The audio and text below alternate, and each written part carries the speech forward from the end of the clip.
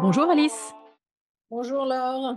Est-ce que tu pourrais te présenter en quelques mots, même si je sais pas si c'est nécessaire, es connue comme le loup blanc, mais heu, voilà, moi je suis toujours avide de détails donc heu, vas-y. OK, bah, je m'appelle Alice, heu, je suis suisse, même si je suis que naturalisée suisse. Je suis une secundo pour ceux qui connaissent le langage, suisse. OK. Donc voilà, mais j'ai grandi en Suisse, j'ai vécu toute ma vie en Suisse, et donc j'habite à Zurich. Et j'ai la chance de parler plusieurs langues parce que j'ai grandi en Suisse romande, près de Lausanne, à Nyon. Et donc voilà. Et puis, ben, je suis mariée depuis 20 ans, enfin non pas depuis 20 ans, mais je suis avec quelqu'un depuis 20 ans. Et puis, heu, j'ai 2 chiens. Et heu, je partage ma vie, heu, on va dire, professionnelle entre, une activité d'analyste criminelle pour la police municipale de Zurich. Et donc là, c'est un travail à mi-temps, et le reste du temps, ben, je propose des cours, de mentoring, heu, donc d'une part chez moi dans ma région, mais aussi, heu, sur un niveau plus international, heu, donc en France, en Allemagne, l'année prochaine en Écosse. Je suis allée en. Islande, donc j'ai eu la chance d'aller dans plusieurs, pays parce que je parle, français, l'anglais et l'allemand Mmh mh. et donc voilà et puis, bah, sinon je fais beaucoup de sport parce que j'adore ça et Super! Nickel et tu bah, tu veux nous présenter tes 2 chiens? Alors mes 2 chiens, moi je fais officiellement par heu, parmi, heu, je suis officiellement membre du club des frappadingues parce que j'ai 2 malinois. S'il y a 10 ans, on m'avait dit que j'aurais un jour 2 malinois, je l'aurais vraiment, mais vraiment pas cru. Donc mon parcours canin, c'est, depuis, l'âge de 2 ans, j'ai toujours voulu un chien, c'est vraiment dans mon ADN. Mon père avait des chiens quand il était enfant et adulte et heu, je lui ai vraiment, heu, cassé les pompes avec ça depuis l'âge de 2 ans. C'était mon seul souhait dans ma vie, c'était d'avoir un chien. Je connaissais le Larousse du chien des années, heu, 70 par cœur, je connaissais toutes les races. J'adorais ça, puis ça a commencé à faire du dog sitting, enfin allait promener des chiens du quartier et puis comme mon père disait souvent, il a fini par céder et quand j'ai eu 12 ans, on a eu notre 1er chien, c'était un boxer, un Sherpa, il était hyper sympa. Il était très mal éduqué, mais il était vraiment très, très cool comme chien et j'ai aussi fait mes 1ers, heu, débuts dans le monde du sport canin parce qu'on allait au club du berger allemand Westlémanique. Bon, il y avait que des Oh! bergers allemands, c'était Ouais, j'allais dire avec un boxer? Ouais, avec un boxer, c'était, heu, encore très à l'époque, heu, très dur avec les chiens et en fait, les boxers, ils fonctionnaient pas du tout comme les bergers allemands. Lui taper dessus, ça servait vraiment à rien donc on n'a pas été très performants, mais j'ai découvert, le mordant, l'obéissance, voilà et puis pour moi, bah, ça a toujours été clair que les chiens feraient partie de ma vie. Et en fait, il est quand il est décédé en 2004, heu, ça a mis 6 m j'ai pas pu reprendre le chien parce que je faisais mes études à Lausanne, donc j'ai un master en sciences forensiques à Lausanne, à l'université, mais quand j'ai fini mes études en 2006, heu, la 1re chose que j'ai faite, c'est de reprendre un chien. Et j'ai pris un Canet Corso parce que, mmh, à l'époque, moi, j'étais vraiment fan des molosses, heu, bah, on avait un boxer, ça me plaisait beaucoup, donc voilà et heu, donc on a commencé voilà, on a eu Katana et puis avec lui, bah, j'ai fait mes 1ers pas de main-trailing, heu, Mmh. en 2010. Hem, on s'est rapidement rendu compte que c'était pas forcément un chien fait pour ça. Il aimait travailler, il était très coopératif pour un pour un molosse, mais au niveau de ses aptitudes naturelles, c'était plus un chien de quête qu'un chien de piste donc très obstiné et j'ai été vraiment, comment dire? Heu, j'ai adoré tout de suite le main-trailing, c'était tout de suite une discipline que je trouvais extrêmement, heu, fascinante.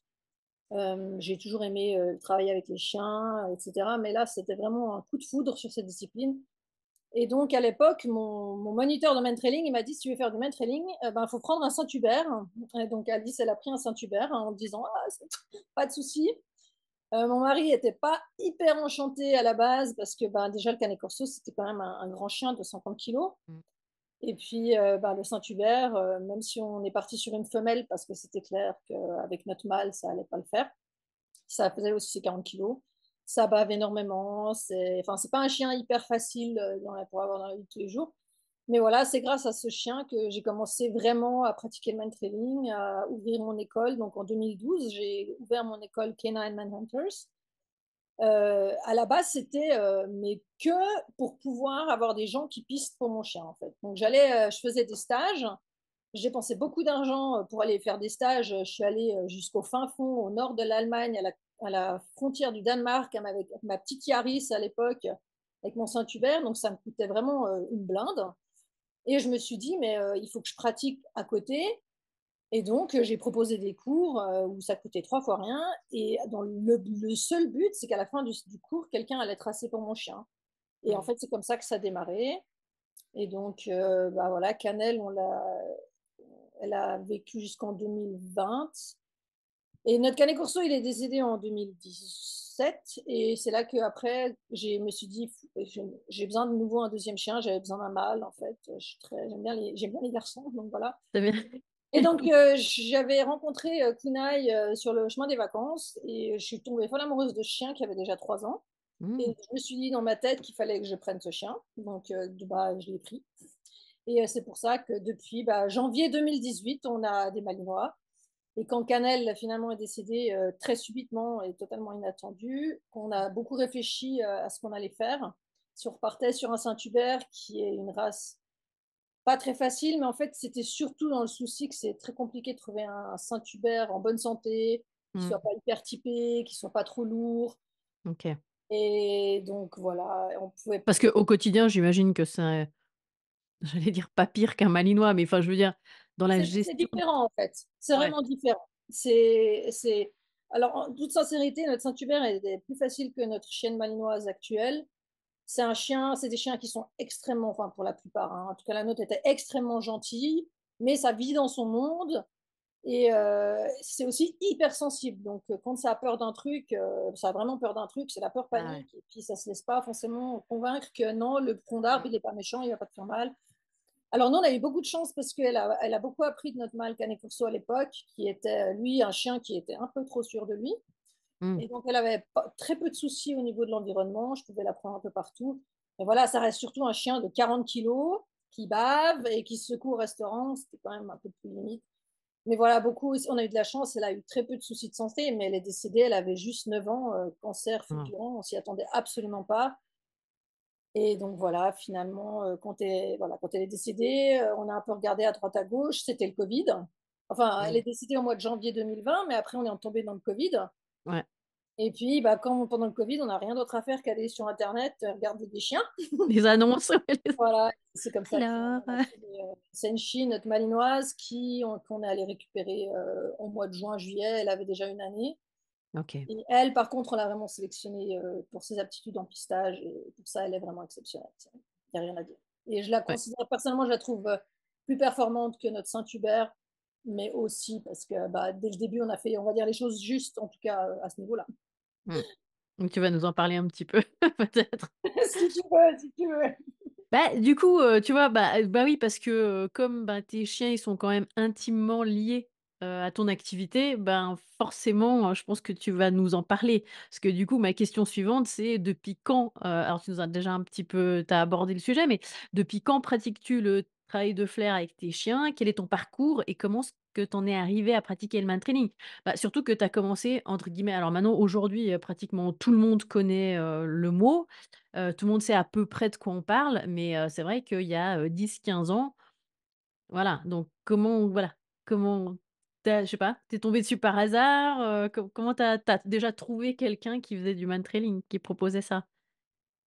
Alors, hem, faut savoir que mon Canet Corso, donc on l'a récupéré en 2006, heu, c'était pas un chien facile. Donc en fait, très vite, j'ai dû aller me former, plus approfondi au niveau des de tout simplement. Donc j'ai fait beaucoup aussi de de séminaires, de stages, heu, comportementaux avec des éthologues et cetera.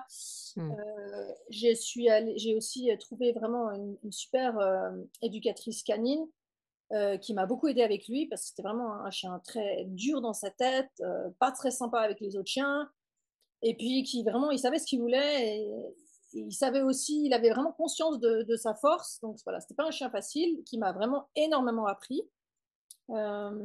Et c'est souvent ceux-là, c'est souvent les Ouais, chiens pas vraiment. Faciles qui nous en apprennent le plus, pas mais facile. Je l'ai eu, ouais. j'avais 25 ans donc heu, à 25 Mmh. ans, on pense qu'on croit qu'on sait tout, puis en fait, on sait rien. Donc voilà, donc c'était pas facile et puis donc avec cette monitrice, heu, donc cette éducatrice, heu, j'ai je faisais des cours avec lui, mais vraiment plus des trucs de la vie de tous les jours, chien de famille, autocontrôle et cetera et je elle m'a proposé après de donner des cours, dans cette école pour, heu, les clients, mais vraiment des chiens aussi, heu, chihuahua et pas des trucs très compliqués. Je faisais pas les chiens hyper réactifs et cetera. Donc je suis tombée, heu, s déjà, à l'époque, je donnais des cours sur un terrain, heu, d'obé enfin, pas d'obéissance, mais donc voilà, je suis un peu tombée là-dedans et donc j'ai pris déjà goût à à donner des cours tout simplement.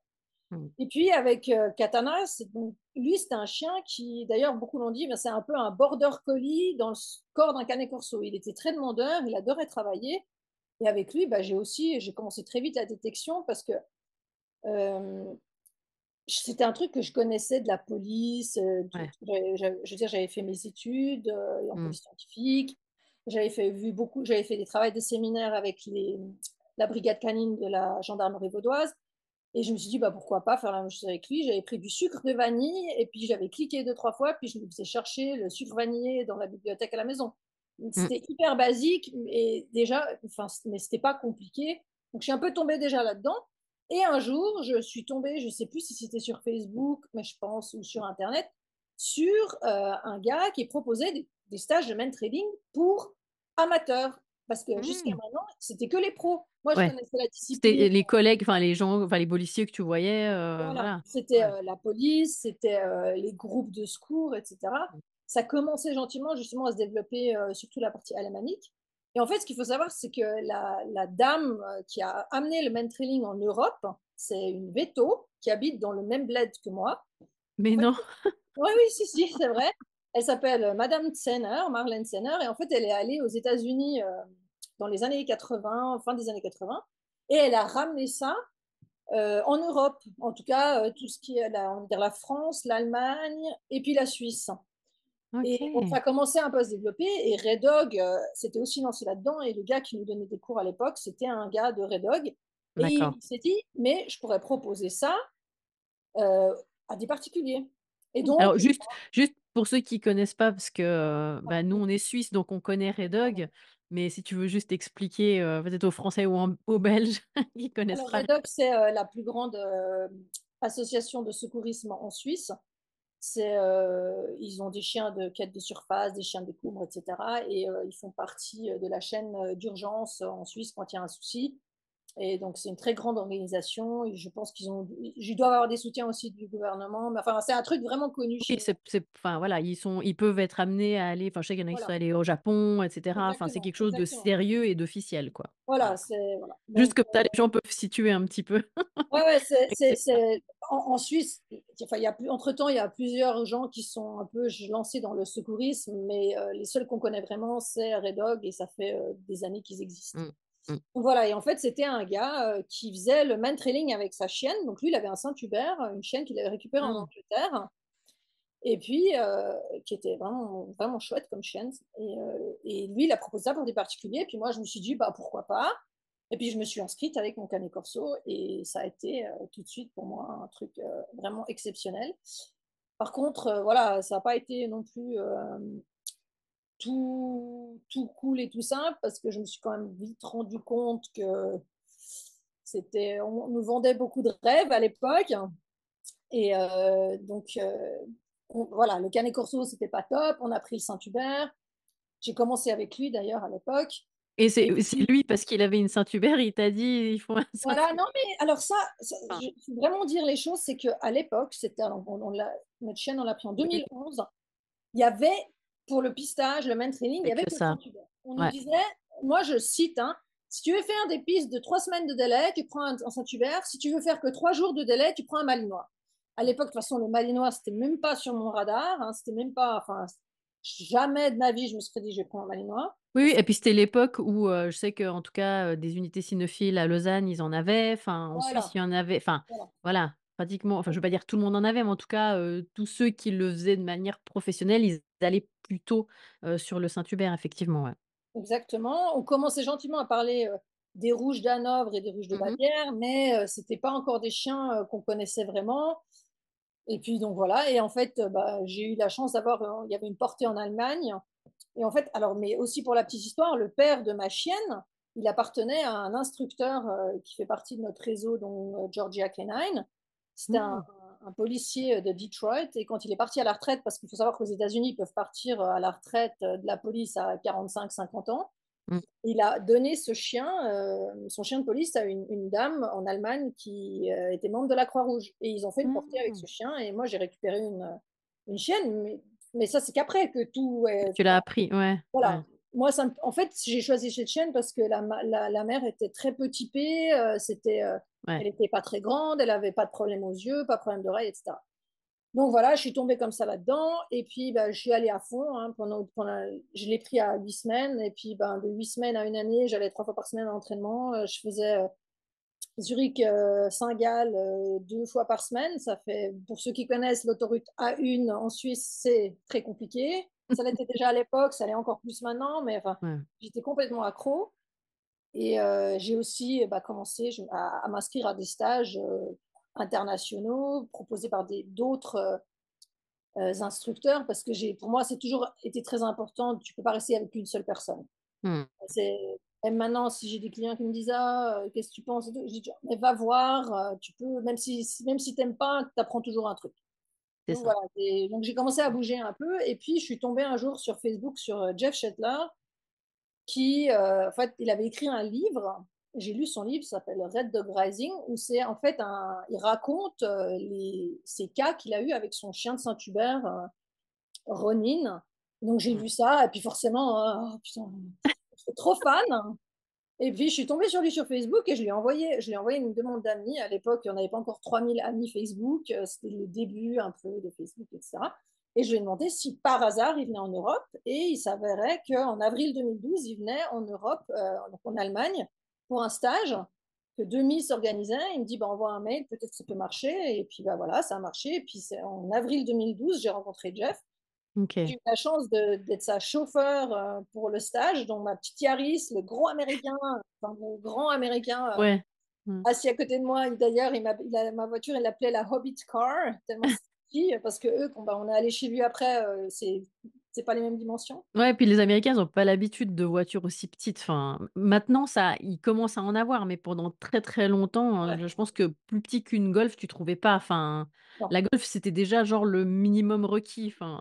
Oui et puis lui, il habite à la campagne, donc il habite aussi dans la jungle, donc il a besoin de son truck, enfin bref, donc c'était très drôle et en fait, bah, j'ai voilà, en avril 2012, hem, j'ai fait sa connaissance et j'ai pu travailler avec ma chienne pendant 4 jours avec lui et je me suis rendu compte que ce que je faisais, hem, chez moi avec mon ancien moniteur, c'était pas top, top et puis, heu, bah, j'ai repris en fait à zéro. Je me suis j'ai parlé avec mon instructeur de l'époque qui lui n'a pas du tout apprécié, heu, voilà.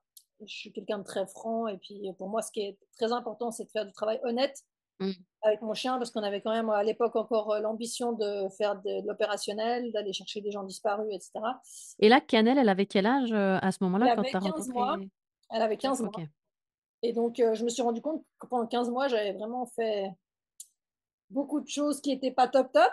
Donc on a repris à zéro et en fait, on connaissait rien et j'ai eu vraiment de la chance que mon amie Connie, qui tra on est encore amies aujourd'hui, on travaille encore ensemble, qui avait aussi commencé à l'époque avec moi en 2010 avec son chien, heu, Popeye et ben, elle est elle ouais, elle m'a fait confiance et en fait, on s'est jantés les 2 là-dedans, on se traçait des pistes. Je me souviens, j'étais revenue de stage, j'ai dit à Connie: «Vas-y, piste, hein, tu fais un 1 kilomètre et demi dans la forêt, tu me dis pas où tu vas, ça va le faire». C'était l'hécatombe, mon chien est parti sur des biches, il faisait presque nuit, enfin c'était mais voilà, en fait, on a commencé comme ça, on s'est pris des murs, on a vraiment on a expérimenté plein de trucs et c'est vrai que parfois j'étais un peu, enfin comment dire? Ma chienne, je râlais et tout, mais en fait, elle a tout fait. Ça a été le cobaye par Mmh. excellence et en f et en fait, je m'estime heureuse qu'elle ait continué à travailler pour moi parce que je pense qu'il y a des fois, elle doit se dire: «Oh putain, celle-là derrière». Mais bon, voilà donc j'ai commencé comme ça et comme en fait, comme je me suis séparée justement de mon instructeur, ben, j'ai j'ai créé mon école tout simplement. Puis je me suis dit: «Bon, on verra bien» et puis c'est comme ça que ça a commencé, que ça a démarré et et que voilà et que j'ai aussi évolué dans la discipline en la pratiquant surtout. Je pense que c'est quelque chose de très important, c'est de pratiquer. Bah, ouais, c'est clair.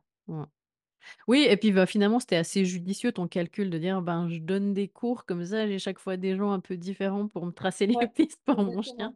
Ça, c'était, heu, une bonne idée, ouais. Exactement. OK. Hem, donc en fait, tu aujourd'hui, tu enseignes, aussi bien aux chiens de famille qu'aux chiens de professionnels, heu, comme, bah, la police ou certaines, heu, unités, heu, c'est juste? Oui, c'est juste, heu, sachant Voilà. quand même que le chien de famille, heu, représente, je pense, bien 90 heu, Ouais. des clients. Sans sans sans les chiens de famille, heu, je pourrais pas. On Ouais. enfin, ça vaudrait pas la peine, on va dire. OK et du coup, bah, j'imagine que tu t'adaptes, hem je dirais, bah, c'est quand même 2 publics différents. Alors je pa je parle pas des gens, je parle vraiment des chiens parce que la sélection, c'est pas la même, enfin, voilà. Est-ce que tu t'adaptes en fonction des différences, ben, entre le chien de travail et le chien de famille? Ou au final, ben, tu les prends chacun comme individu et tu peux pas dire, heu, ben, il y a il y a une catégorie c'est moins bien, l'autre c'est mieux ou enfin, tu vois? Je sais pas si tu ma question est pas très claire, Si, je suis sûre que tu sais où où Je. Non, alors, hem, je m'adapte de toute façon, de manière générale, heu, s'il y a quelque chose que j'ai appris en Mantrailing, c'est qu'il y a pas 2 chiens qui sont pareils, Mmh. indépendamment de leur race. Alors bien sûr, on a des similitudes dans les races, il faut pas non plus, heu, ça se réinvente pas à chaque fois.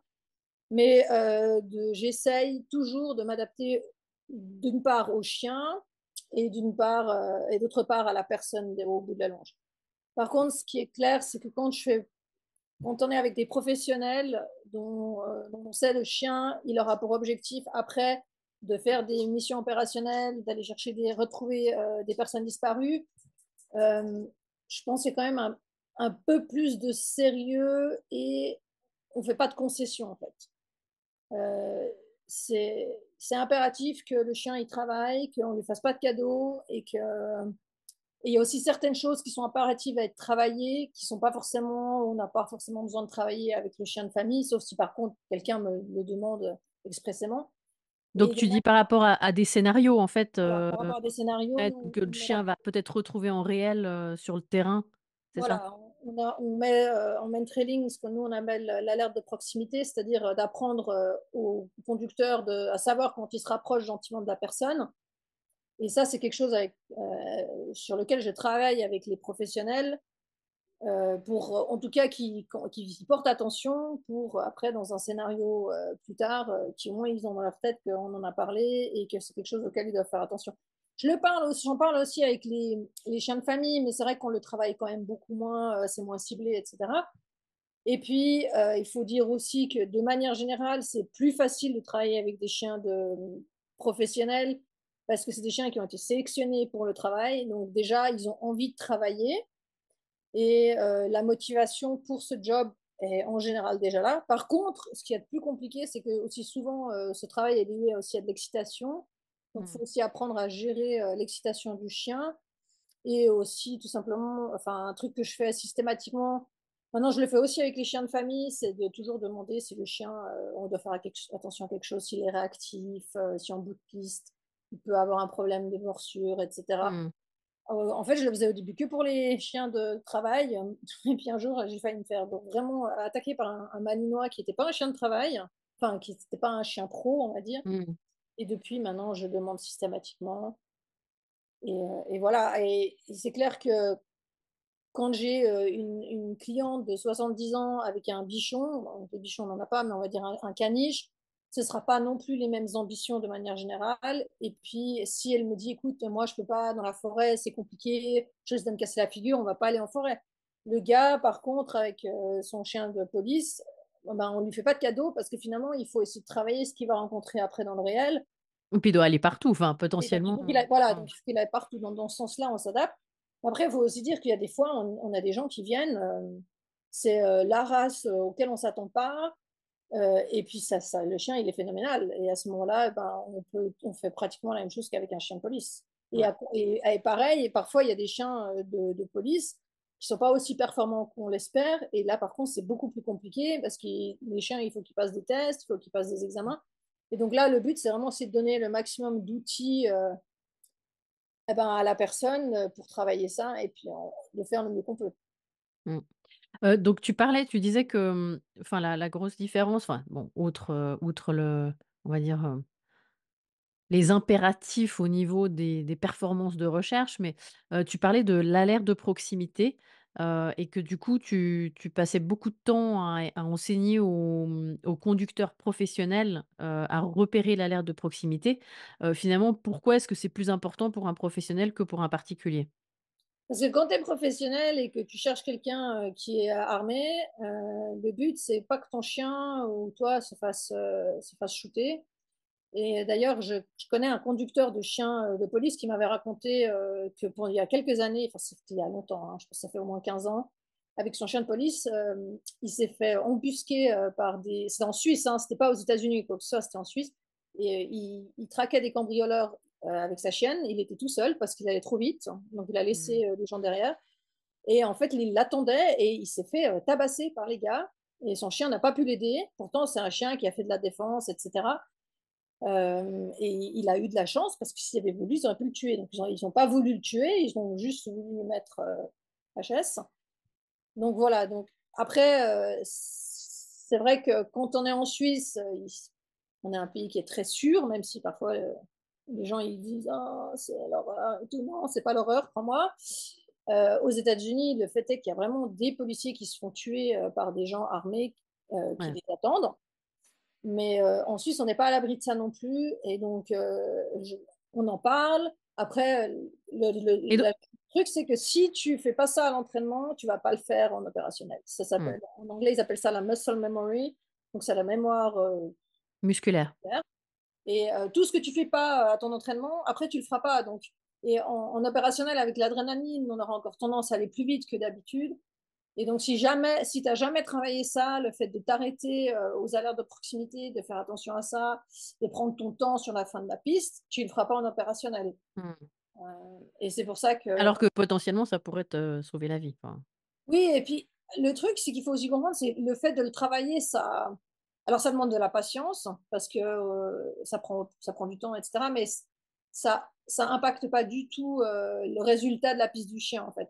Donc, Mmh. je travaille aussi, euh, on en parle aussi avec les, les chiens de famille, parce que le fait de, savoir lire son chien, de savoir quand on a eu des alertes, ça peut nous aider pour, j'appelle ça sauver la piste. Donc, on en parle, mais c'est vrai qu'on en, c'est plus dans une optique de lire son chien, de comprendre ce que le chien nous montre, de savoir où j'en suis dans ma piste, euh, que par souci de sécurité, tout simplement. Ouais, voilà, c'est pas une question de vie ou de mort. Non, non, pas du tout. OK, cool. Donc je crois savoir et puis d'ailleurs tu tu nous en as déjà un petit peu parlé, que tu pratiques aussi la détection. Heu, bah, est-ce que tu peux nous en dire plus? Donc pareil, heu, ben, comment tu as connu? Enfin, bah, évidemment, bah, de par tes fréquentations professionnelles, as tu savais ce que c'était et finalement, ben, avec ton ton chien, avec Katana, qu'est-ce qui t'a motivé? Bah, pourquoi tu t'es dit: «Bah, tiens, je vais je vais faire de la détection»? Alors oui, alors j'ai découvert la détection en fait avec les chiens de police dans le cadre professionnel des chiens qui cherchaient des explosifs ou des stupéfiants. Et avec mon chien Katana, quand euh, avec mon, mon éduc, elle- enfin, c'était- on s'est rendu compte que c'était un chien qui avait besoin d'être euh, stimulé autre que par juste aller se balader. C'est Mmh. vrai que moi à l'époque, je voulais un chien, euh, je faisais un doctorat, je travaillais, donc je voulais un chien, un chien pote. C'était, ben voilà, on va, on va se promener, on fait un peu des trucs ensemble. Mais voilà, j'avais pris un molosse, j'avais pas pris un malinois, donc voilà. Mais comme euh, c'était justement un chien qui avait besoin d'être stimulé, j'avais aussi fait euh, genre des cours, euh, jouer avec son chien, des trucs qu'on peut apprendre au chien. J'avais aussi, donc j'avais commencé le clicker et j'avais appris des trucs comme ouvrir les tiroirs, enlever les chaussettes, etc. Donc il connaissait le clicker et il avéré très vite qu'il aimait ce genre de trucs. Et puis, je sais vraiment plus comment. Je me suis dit, mais pourquoi pas me mettre à lui apprendre à chercher des trucs dans l'appartement. C'est vrai qu'à l'époque, pour moi, c'était quelque chose que je faisais strictement à l'intérieur. Ça ne m'était pas forcément Mmh. venu à l'idée de chercher faire à l'extérieur. Dans le sens que pour moi, à l'extérieur, c'était plus. euh, bah, je l'ai aussi appris à chercher le briquet ou ce genre de choses. Mais c'était sur des objets qui avaient mon odeur. C'était pas de la détection dans le temps. C'était de la quête Mmh. d'objet, en fait. Ouais. Mais voilà, pour moi, c'était utilise ton pif, euh, comme ça, tu es un peu plus fatigué. Et ça, on faisait aussi, enfin, on faisait des grandes balades. Donc, il avait euh, le côté euh, donc physique, dépense physique. Et euh, la détection, euh, donc le travail de flair, c'était pour moi de la, déf- de la, de la dépense euh, donc mentale. Donc, mh. j'ai commencé comme ça et c'était hyper rudimentaire. hein. J'avais vraiment, j'avais mis mon petit euh, dans, de la- dans des mini-grippes. Et puis j'avais cliqué plusieurs fois, puis je je lui faisais chercher ça dans la bibliothèque. Alors il y avait des traces de bave partout, c'était l'enfer. C'était C'était les prémices, de l'arrivée vous êtes préparés à l'arrivée de Canal finalement. Ouais, voilà, oui, alors, oui, mais alors c'est un autre level. hein. Ceux qui pensent que le molosse ça bave, ils ne connaissent pas le Saint-Hubert. hein, mais bon, voilà. Donc voilà, j'ai commencé comme ça un peu là-dedans et puis après, j'ai pas trop poursuivi et je avec bah, le Saint-Hubert, j'en ai fait enfin, j'ai pas fait de la détection avec elle, je lui ai fait je faisais de la quête d'objets, donc je lui avais aussi appris à chercher le briquet et elle faisait des belles indications, elle, elle couchait bien, c'était chouette. Mmh. J'avais fait quand même avec elle, j'ai des des vieilles vidéos sur Facebook, heu, qui où on voit le Saint-Hubert qui cherche le briquet. C'était ma grande fierté parce qu'il faut quand même savoir qu'à l'époque, quand on prenait un Saint-Hubert, il fallait pas l'éduquer, il fallait Ouais, faire que du que de la piste, ouais. rien d'autre, pas lui apprendre, pas d'obéissance, rien, parce que sinon il pistait pas. Et donc au début, j'y croyais un petit peu, puis très vite, je me suis rendu compte que vivre avec nous, on habitait en appartement, on pas on n'avait pas de jardin, on pouvait pas se permettre d'avoir un Saint-Hubert de 40 kilogrammes qui n'ait pas du tout d'éducation et donc heu, je l'avais quand même éduqué un minimum, heu et puis, heu, justement, je me suis dit: «Pourquoi pas essayer de faire de la détection, enfin de la quête d'objets» et ça a très bien marché. Alors, c'est pas la même réactivité et la même, vivacité Qu'un malinois. mais elle aimait ça et puis et puis voilà, donc elle faisait Mmh. comme et je me suis vraiment remis à la non, et ah oui, pardon. En fait, avec Katana, j'ai rencontré Wesley Fisher. En fait, l'histoire, c'est que Mmh. quand on est partis aux États-Unis avec notre Saint-Hubert, il y avait Wesley Fisher. Pour ceux qui connaissent, heu, il est, heu, imprint Imprint for Dogs. C'est un gars, il est hollandais. À l'époque, il venait de quitter son job à l'a à l'aéroport d'Amsterdam. Il était parti chez Jeff faire un stage de 3 mois pour le mentrailing et heu, il avait il a comment dire? Il a pas appris la détection à Jeff, mais Jeff a appris avec Wesley qu'on pouvait aussi, récompenser les chiens à la nourriture, qu'on n'était pas obligé de faire sac à la balle, donc c'était un peu du donnant-donnant et en fait, on a rencontré Wesley quand on était chez lui chez Jeff Mmh. et après coup, j'étais allée, heu, en Allemagne, pardon, il a organi il a organisé un stage, instructeur détection de 5 jours et donc mon ami Connie avec Popeye, moi avec Katana, heu, on est monté et puis on avait Cannelle aussi, donc on avait 3 chiens dans la voiture. On est monté à Düsseldorf et on a fait 5 jours de Toujours détection. en Yari en Yaris ou? Non, on avait changé entre-temps pour une grande voiture. Voilà, heu, notre Toyota Sienna, heu et donc voilà. Et en fait, j'ai j'ai re j'ai recommencé la détection avec, heu, Wesley. Et ça m'avait beaucoup plu. Il avait aussi, déjà des working cockers, j'ai découvert ces traces avec lui aussi, et j'aimais bien son approche, très, déjà pédagogique et puis, pas trop dogmatique sur, il faut que ce soit la balle, il faut que ton chien il soit fou du Kong et cetera, parce qu'avec les Saint-Hubert, ça marchait pas de toute façon. Hem, donc donc voilà et j'ai commencé avec lui et quand j'ai pris après, heu, ben, Kunai, notre malinois qui, heu, quand on l'a récupéré, il avait 3 ans. Lui, alors il avait jamais fait de fer de sa vie, il savait même pas qu'il avait un nez. Même en promenade, il savait pas qu'il avait un nez parce qu'il Mmh. connaissait pas du tout, il connaissait quasiment rien. Heu, ben, je me suis dit: «Pourquoi pas, heu, refaire un peu de détection, aussi avec lui?» Mmh mh. et j'ai je crois que c'est il y a 2 ans, je me suis inscrite avec lui à un stage de Louise Wilson. C'est une, heu, Anglaise qui fait surtout, heu, qui travaille surtout dans la conservation, je Ouais. dit? Conservation on dit, je pense.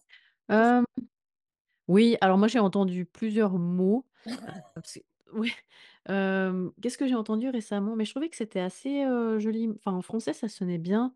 C'était éco éco-détection ou je sais ouais. plus. Mais j Ouais, bref, elle travaille sur des elle alors son background, c'est aussi elle a elle travaillait avec l'armée, heu, les chiens explos, puis maintenant, elle depuis quelques années, elle est à son compte et mmh, elle forme surtout des chiens pour, heu, des projets, heu, de conservation, heu, éco, par exemple, chercher des carcasses de chauves-souris, heu, pour savoir combien de chauves-souris sont tuées par les les éoliennes ou ce genre de choses et je suis tombée, je sais plus ouais, je crois que j'ai vu ça sur Facebook de nouveau. Je me suis inscrite avec Kunai et j'ai rencontré Louise et j'ai aussi, voilà, j'ai beaucoup aimé ce qu'elle faisait, sa façon de travailler. Elle, elle travaille aussi beaucoup sur l'émotionnel du chien, euh, sur, euh, ouais, sur ses, ses problèmes d'excitation, euh, excitation, pas forcément motivation, etc.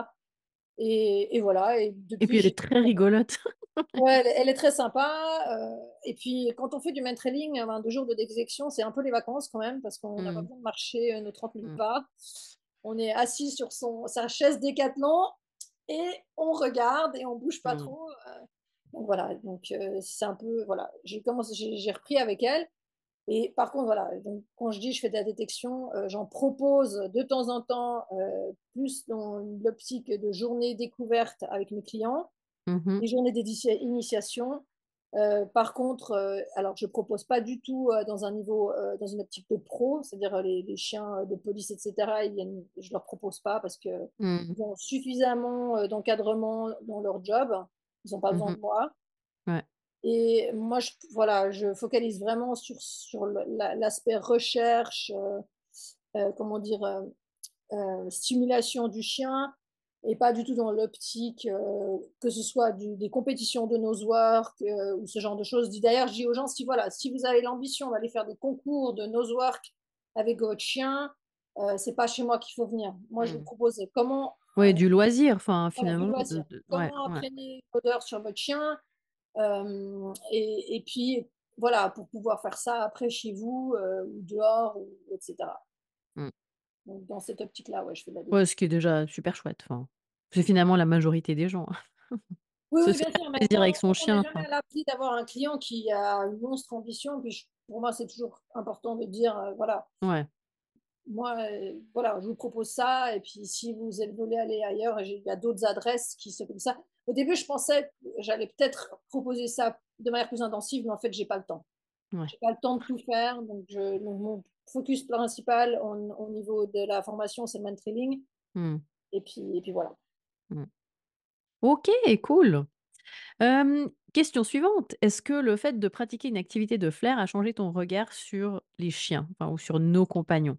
Alors bon, toi, finalement, tu as connu ça très tôt, j'ai envie de dire, dans ta carrière, cynophile.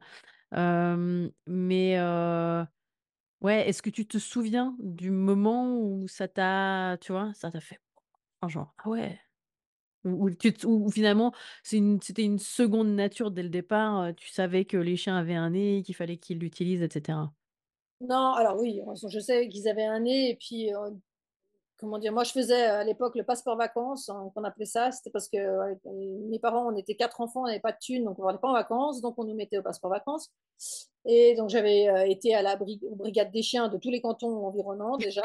Donc OK. j'avais vu plein de trucs. Ouais, non, mais j'étais mais complètement accro à ça. Moi, je voulais que ça quand j'étais gamine. Je voulais un chien, un chien. Je disais à mon père à à à 5 ans: «Tu m'offres un chien, tu auras plus besoin de me faire de cadeaux d'anniversaire». Tu vois? C'était c'était vraiment, Ah oui, c'est marrant parce que moi, j'ai fait la même chose, mais hem, j'ai dû avoir j'ai dû attendre d'être partie de chez mes parents pour avoir mon ouais. chien.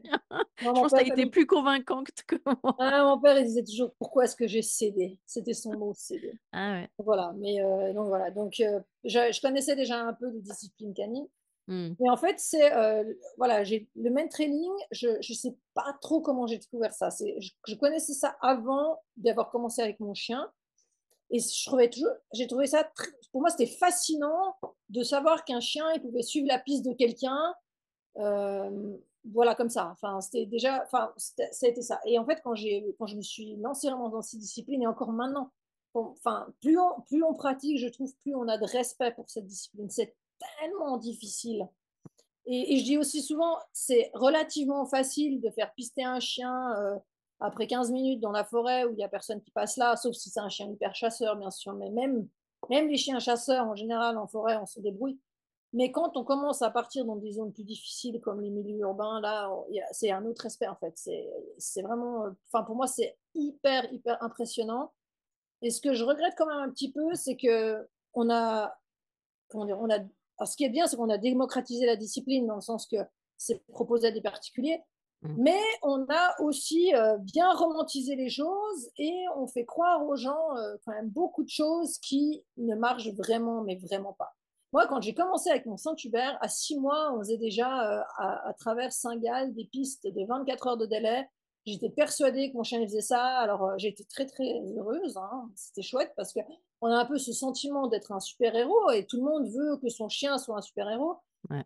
Mais en fait, heu, c'est pas du tout le cas. C'est une discipline difficile, il y a pas comment dire? C'est pas fait non plus pour tous les chiens. Il y a des chiens qui simplement ça ne les intéresse pas ou qui ont pas où il faut faire attention aussi au niveau des des physiques. J'ai un client, c'est trouve je trouve chouette, il m'a envoyé un message l'autre jour, il me dit: «Écoute» il a un bulldog continental il me dit: «Écoute, je je pense qu'il faudrait que je fasse une pause pour l'été, je pense que c'est pas une bonne idée. Qu'est-ce que tu en penses?» «Mais mais oui, mais fais une pause». Heu, le chien, il a au niveau de la physiologie du chien, heu, quand on connaît son chien et c'est une chienne, c'est une joie de vivre, mais elle ne peut pas faire dans le calme, donc elle s'excite, Mmh. donc elle est contente et donc c'est la seule décision à prendre. Et donc voilà, donc on a un peu dit, «Oui, tout le monde peut faire ça, de 7 à 77 ans, du chihuahua ou d'également». Donc même si, sur le principe, oui, Oui. en pratique, c'est quand même beaucoup plus compliqué que ça et heu, c'est vraiment quelque chose de difficile.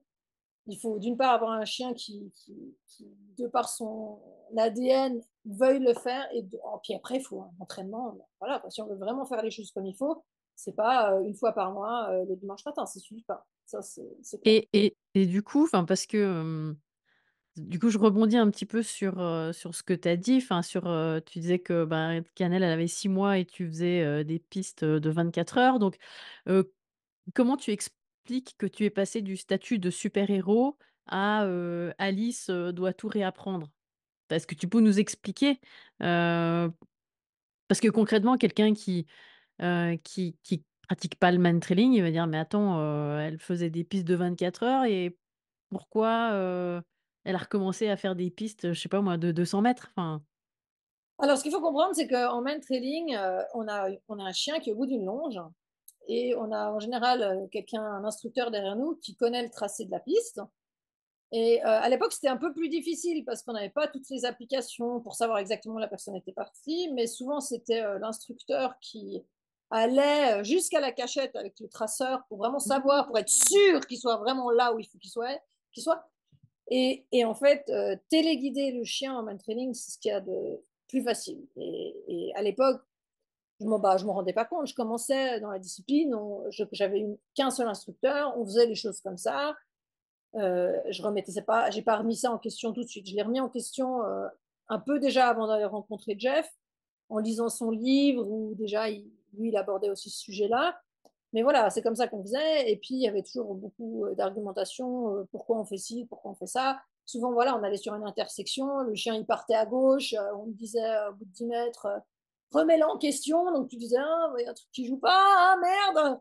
et à l'époque, on n'avait pas 10 mètres de long, j'en avais que 5 mètres, donc le ah chien ouais, avait beaucoup moins de liberté de mouvement. d'accord. Et, et donc voilà, donc c'était c'était, heu, c'était chouette, mais c'était pas réaliste, c'était pas la vérité, c'était pas, heu, voilà, Donc on on concrètement, ça veut dire que grosso modo, on poussait le chien à aller où on voulait qu'il aille, c'est ça? voilà. Et en fait, quand on a un Saint-Hubert comme la mienne qui a adorait, heu, tracter comme une débile, et ben, en fait, le chien est toujours en mouvement, donc c'était assez facile. Et en fait, c'est c'est après coup aussi qu'on s'est rendu compte que notre Canet Corso, lui, par contre, le téléguidé, ça marchait pas parce que quand il avait un problème, il restait planté là, puis il faisait plus rien. Puis on était derrière: «Ah, va chercher, c'est où? Mais dis-moi, c'est où, c'est où?» alors il faisait quelques pas, puis alors, heu, du coup, le chien était nul. Mais après coup, j'ai mmh, réalisé qu'en fait, le chien n'était pas nul, c'est que pour lui, c'était beaucoup trop difficile, qu'il ne voulait pas résoudre le problème et que comme c'est un molosse et pas un, un idiot, euh, ben, il disait ben, ok, bon, ben, moi je m'arrête. Et voilà, donc euh, je me suis rendu compte en fait de, de ce qu'on faisait, c'était pas, enfin c'était pas la réalité quand je me suis trouvée euh, mon premier jour avec Jeff. Et puis que on, a tracé une piste. Et puis moi je pars avec mon chien. Et puis euh, Jeff qui me parle derrière et qui était toujours vraiment euh, juste à côté. Puis il me dit alors qu'est-ce qui se passe? Je dis Bon, ben, je pense que c'est bon. Ah, tu ouais, OK, je pense que c'est bon. Puis en fait, on s'est retrouvés, mais complètement à l'opposé. Et j'étais persuadée que c'était bon. Et heu, au fur et à mesure du stage, je me suis pris ce jour-là, je me suis d'ailleurs encore une vidéo qui doit circuler quelque part sur internet, c'était les premières GoPro, la qualité est merdique, mais bon voilà. Je me suis pris mais un mur parce que tu arrives là-bas, pendant une année, on m'avait dit que j'avais une chienne qui était géniale, enfin voilà, ça on caresse dans le sens du poil, personne crache dessus, hein, je veux dire, c'est normal. Ouais, mais ça demande ça demande une sacrée humilité et puis, ben, enfin, je te trouve quand même super courageuse, heu, ben, d'avoir été capable de te remettre en question comme ça. Parce qu'il y en a beaucoup qui auraient dit, heu heu, bah, que finalement, enfin, entre guillemets, «Jeff est nul», enfin, c'est-à-dire qu'ils auraient remis en question non, mais tu vois? De dire, heu: «Ah non, mais c'est lui, moi je préfère l'autre». Tu vois? Je Ouais, bah, après ça, c'est une question de personnalité. Il faut être, comment dire? Faut être honnête avec soi-même. Moi, je me enfin, je veux dire, à au bout de ces 4 jours, il était clair que je connaissais rien ouais. et que ma chienne, elle elle était c'était pas une mauvaise chienne, loin de là. D'ailleurs, voilà, je me souviens aussi d'un moment révélateur au troisième jour en zone industrielle. Mon chien qui est collé le nez au sol et puis je dis à Jeff: «Mais Jeff, je l'ai jamais tra je l'ai jamais vu travailler comme ça». Il me dit: «C'est parce qu'elle avait jamais travaillé avant». Quoi? Dans tronche, la meuf! Voilà, c'était pas facile. À la fin du stage, j'étais en Ouais. larmes parce que je m'étais je me à la fin du stage, j'ai réalisé aussi, heu, ce Ouais. qui ce qui allait se passer parce que je savais que j'allais Mmh. pas pouvoir continuer comme ça.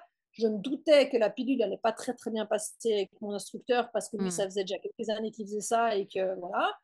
et que, voilà, on a un certain. Moi, l'avantage que j'avais, c'est que j'avais encore aucun statut. Je pense que c'est quand même plus difficile si maintenant, il y a quelqu'un qui vient et qui me dit euh, ça fait 12 ans que tu fais que de la merde, il faut que tu prennes à zéro. Je pense que c'est beaucoup plus difficile. Moi, ça faisait une année que je faisais ça. Je n'avais pas grand chose à perdre. Mmh. Euh, et, puis, et puis voilà. Oui, tu étais en, pleine phase d'apprentissage encore. Et j'ai fait, après, il y a aussi beaucoup de gens, ils pensent, ouais, tu as rencontré Jeff, tu connais rien. Ah, j'ai fait, pendant cette, les années qui, qui ont suivi, j'ai fait d'autres stages avec d'autres personnes. Et, pour moi, euh, c'était clair qu'il y avait énormément de, de, de poudre de perlimpinpin. Mmh. J'ai aussi fait des stages où, où le seul commentaire, avec des instructeurs euh, venus des États-Unis, euh, le seul commentaire qu'on faisait en bout de piste, c'était good job, tu vois, 450 euros pour le good job, yes. Enfin, ou, des trucs aussi du genre. Et je me souviens d'une piste avec un instructeur, c'était pas moi qui travaillais mon chien, c'était quelqu'un d'autre. Puis à un moment, l'instructeur, il commence à gueuler sur la meuf en disant Ah, t'as pas vu, il a donné un coup de tête. Et puis moi, je dis Ouais, mais des coups de tête, il en a donné les plein avant. Ouais, non, mais tu connais rien, tu sais pas lire les chiens. Enfin, je m'en suis quand même bien rattrapée euh, pendant quelques temps, mais voilà, ça fait partie de l'apprentissage. Et puis voilà, pour moi, c'est une question d'éthique de travail, de toute façon. Mmh. toujours, que ce soit euh, avec les chiens, que ce soit dans mon job, dans ma vie euh, privée, j'ai certains principes, une certaine morale, on va dire. Et, pour moi, quand on parle de, de, chiens qui vont aller chercher des gens qui, ont, qui sont disparus, parce qu'on parlait surtout de ça, c'était maintenant les chiens que je forme euh, en professionnel, ce sont des chiens qui vont surtout pister euh, des, des, criminels. Mais quand on dit on va aller chercher euh, la mamie qui a disparu, pour moi, c'est. Mais il n'y a pas de discussion. C'est qu'il faut avoir des chiens il faut être honnête avec son travail, qui travaille et, et pas, voilà, pas raconter du, du, pipeau et faire croire des choses.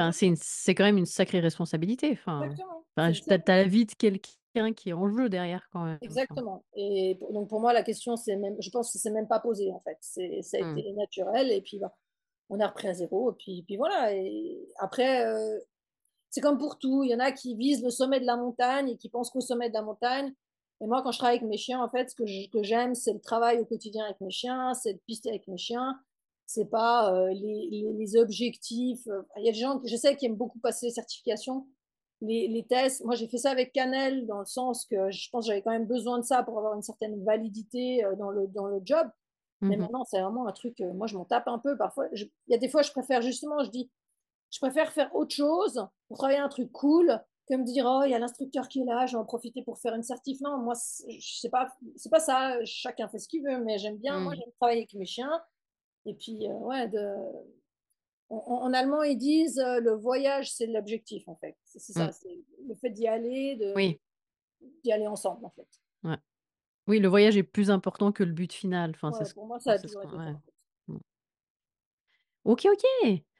Bah, vu que tu pratiques le man trailing et la détection, est-ce que tu vois des similitudes ou des différences? Enfin, finalement, en quoi? Parce que j'ai envie de dire, ça rentre dans la catégorie travail de flair. Enfin, pour moi, c'est une espèce de grande famille où il y a plein de disciplines différentes. et donc, du coup, voilà, qu'est-ce qui est différent et qu'est-ce qui ne l'est pas?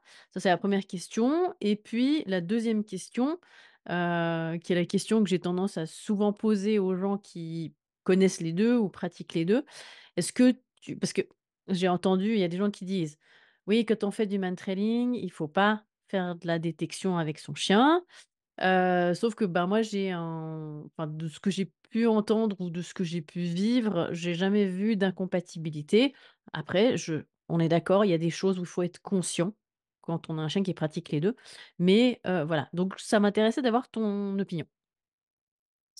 alors, je vais répondre d'abord à la deuxième question parce qu'elle est un peu plus présente dans ma tête et un peu plus facile. Donc en fait, alors pour moi, il n'y a aucune euh, incompatibilité. D'ailleurs, la plupart des chiens de police en Suisse sont des chiens qui sont multidisciplinaires. Ils ont souvent une spécialisation, pas tous, hein, mais ils ont souvent une spécialisation stupéfiant ou explosif. Et ils pratiquent le pistage. Et pour moi, alors, mais il y a vraiment, je vois pas du tout d'inconvénient à pratiquer les deux parce que c'est pas, c'est pas le même contexte, c'est pas le même type de recherche. Pour moi, c'est même presque plus complémentaire qu'autre chose.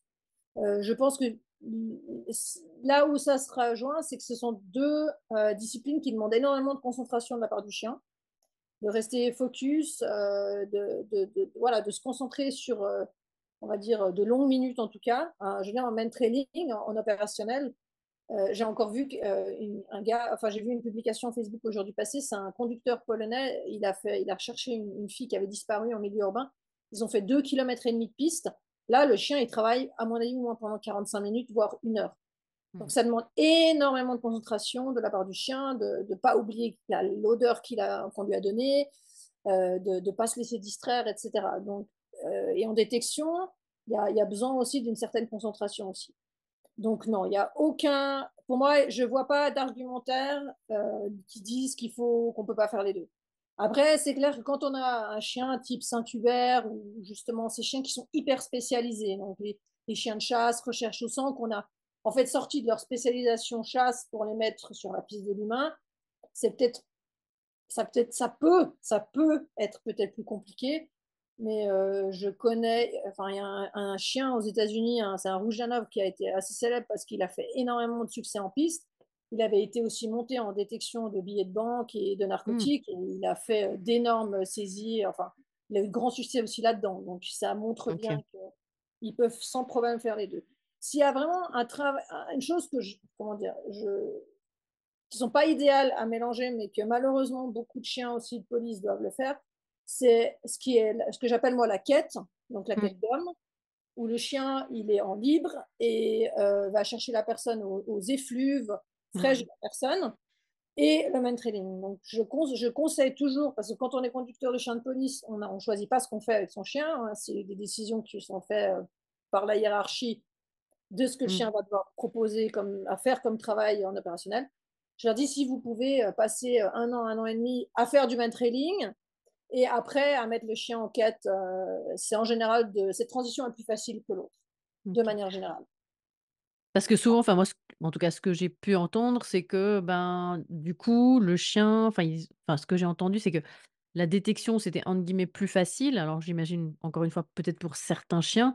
Et que du coup, heu, ils ils les chiens vont préférer, heu, finalement avoir la tête haute et chercher, ben, comme tu le dis en fait en quête, on a enfin ce qui est finalement appelé détection, plutôt que de pister, voilà et que parfois, ben, c'est, mmh, alors je je sais pas si c'est parce que c'est des chiens qui font les 2 et que du coup il y a eu un une extension qui s'est faite ou comme ça, mais aussi que, par exemple, quand un un peut-être un changement de direction comme ça, bah, en fait, le chien, il va couper parce qu'il le fait, voilà.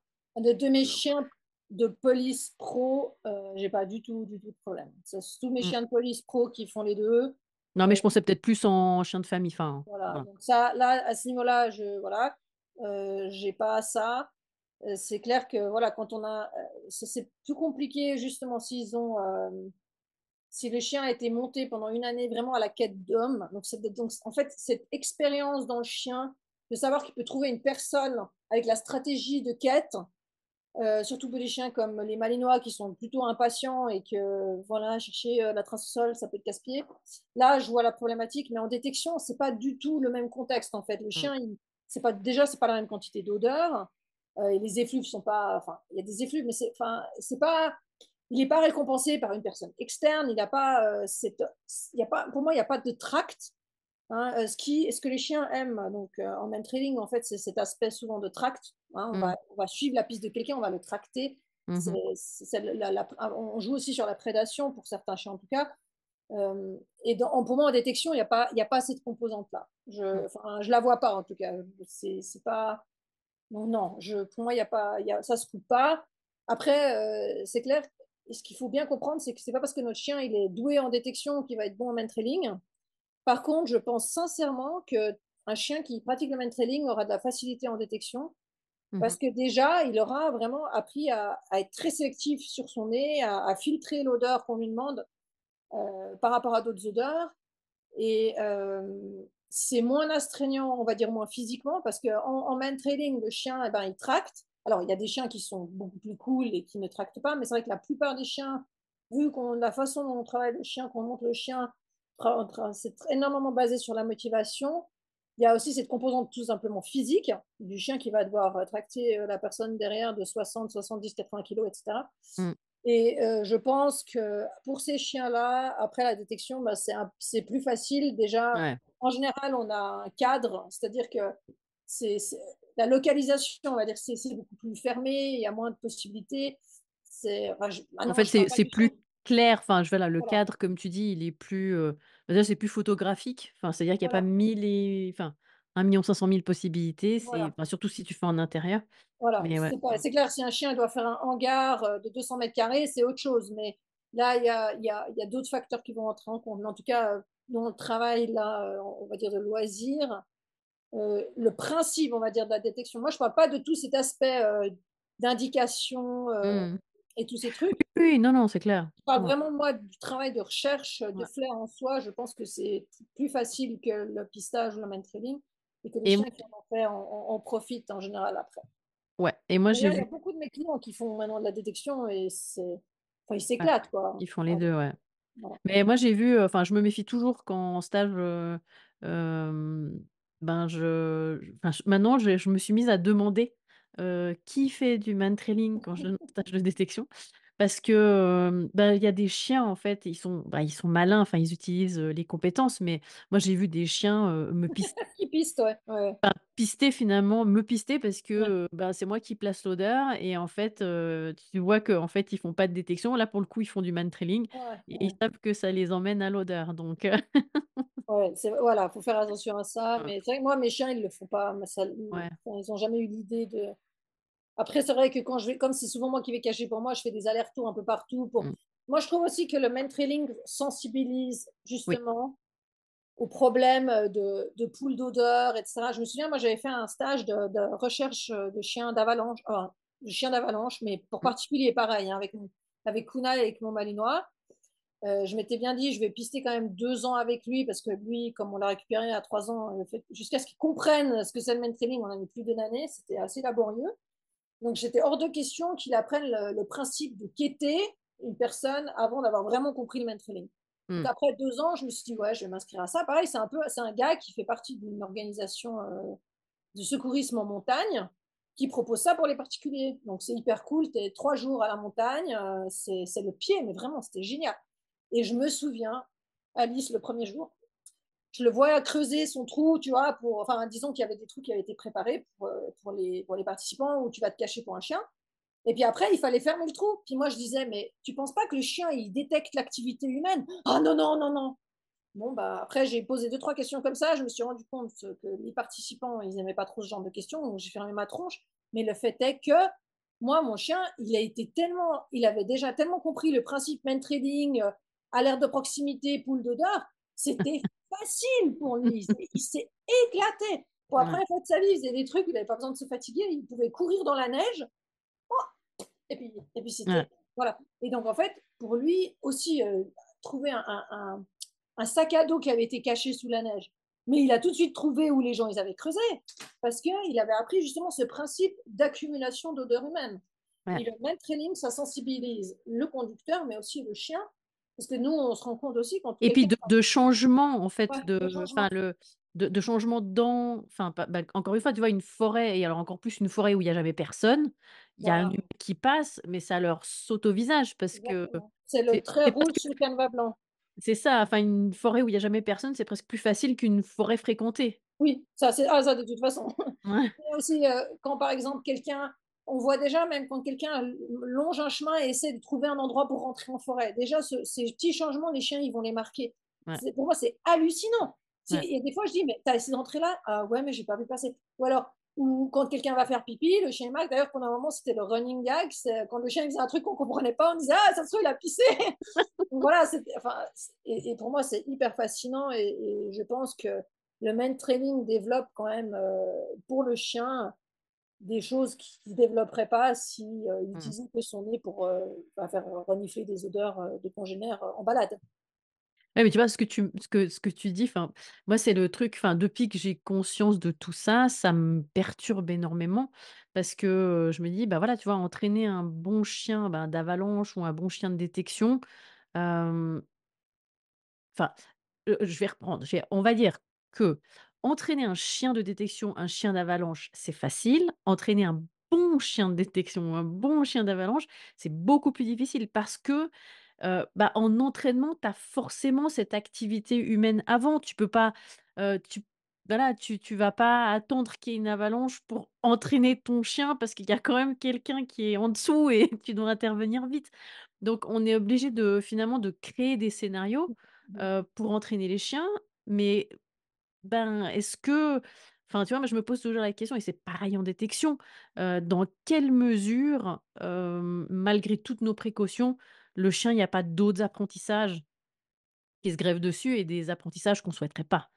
Parce que si, ben, le chien, alors je prends l'exemple de l'avalanche, hein, mais il apprend qu'en fait, heu, c'est quand on a creusé un trou qu'il y a quelqu'un dessous, bah, le jour où c'est une avalanche, ben, là, il y a personne qui a creusé un trou. Par contre, il y a quand même quelqu'un dessous. Oui, c'est pour ça Moi, qu'il ça me laisse perplexe, tu vois?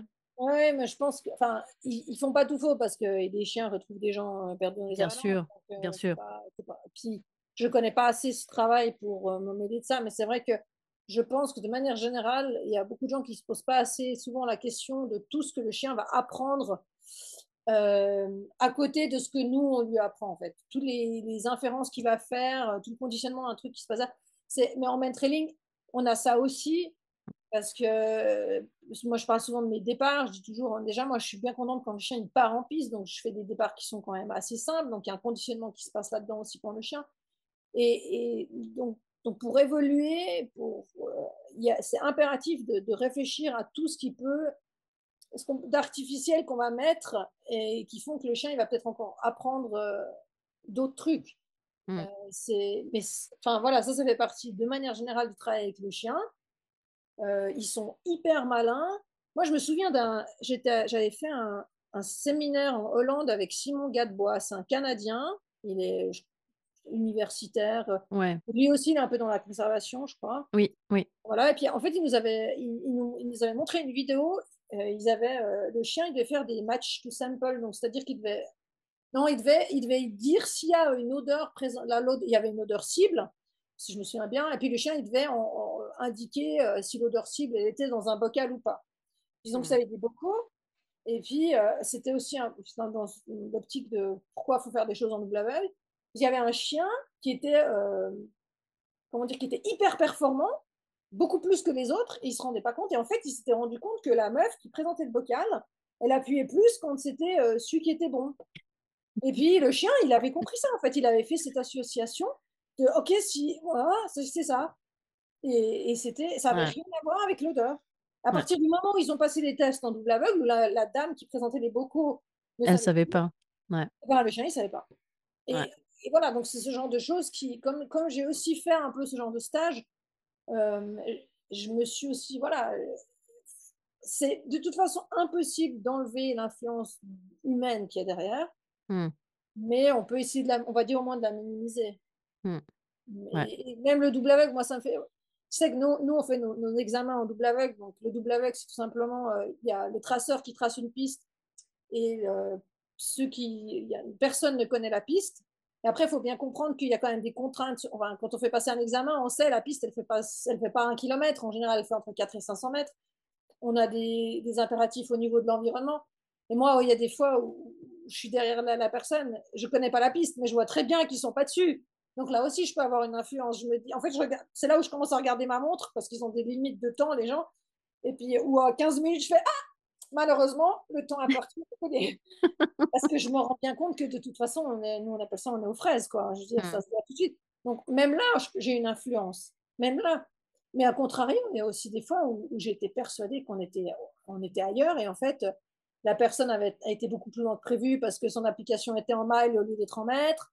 Ouais. Euh, et c'est pour ça que, voilà, moi, j'ai, enfin, on peut pas enlever cette influence humaine, mais on peut faire en sorte de la minimiser, de réfléchir déjà, de prendre conscience de tout ce qu'on peut inculquer au chien euh, alors qu'on n'a pas voulu. Ouais, c'est ça. Ouais. Ouais, puis surtout, ben, voilà, d'e d'essayer au maximum d'être conscient de Voilà. de ça. Enfin, puis peut-être aussi des des routines qu'on qu'on crée, alors qu'il devrait pas y en avoir. Enfin, mais c'est c'est dur de de lutter contre notre nature humaine parce que l'humain aime aime les routines finalement, enfin, Et puis on aime heu, les aussi que routines le chien il arrive d'entraînement bout. pardon? On aime aussi que le chien il arrive au bout. On aime quand le Oui. chien il a du succès parce que le, le chien c'est un peu notre reflet. hein. Le chien c'est notre ego aussi. hein. Euh, il y a, il y a- c'est c'est fou. Il y a certaines personnes, c'est Enfin, le chien, c'est tout. Ils se définissent par ça et puis tu peux leur dire qu'ils ont un petit peu d'embonpoint, mais il faut surtout pas dire que le chien a un peu d'embonpoint. Il faut toujours faire très attention à ça. Les, les- voilà, pour beaucoup de gens, euh, c'est un peu ce que je regrette aussi et ce que j'essaie d'expliquer aussi à mes clients, c'est, pour beaucoup de gens, le, le but ultime de la piste, c'est d'arriver au bout de cette piste et que le chien, il laisse sa pâtée au bout de la piste. Et là, à ce moment-là, c'était un bon entraînement. Et je regrette un peu parce que il y a, quand euh, une piste ne fonctionne pas, et ben tout de suite, euh, on se focalise, les gens ils se focalisent sur le côté négatif du truc, c'est je suis pas arrivé au bout, alors que peut-être que finalement 80% de la piste elle était excellente, que le chien il a fait un boulot monumental et que ben ça a merdé euh, sur la dernière intersection comme ça peut parce que c'est comme ça que ça se passe. Et les gens ils font complètement abstraction de ça et ils disent oh, on n'a pas réussi. Non. Et en fait non. Et c'est vrai que je m'en, c'est pas quelque chose dont j'avais conscience encore il y a cinq six ans, mais maintenant, il y a des fois, je me réjouis pour certaines pistes. Je suis pas forcément arrivée au bout, mais c'était un... mais le chien, il a, Mmh. il a tellement bien bossé. Je lui dis aussi, alors je lui donne pas sa pâtée parce qu'elle survivra à pas avoir la pâtée, mais je la félicite et puis je lui dis Ouais. que c'était bien et puis je tire pas la tronche euh, parce que c'était parce qu'on n'est pas arrivé au bout.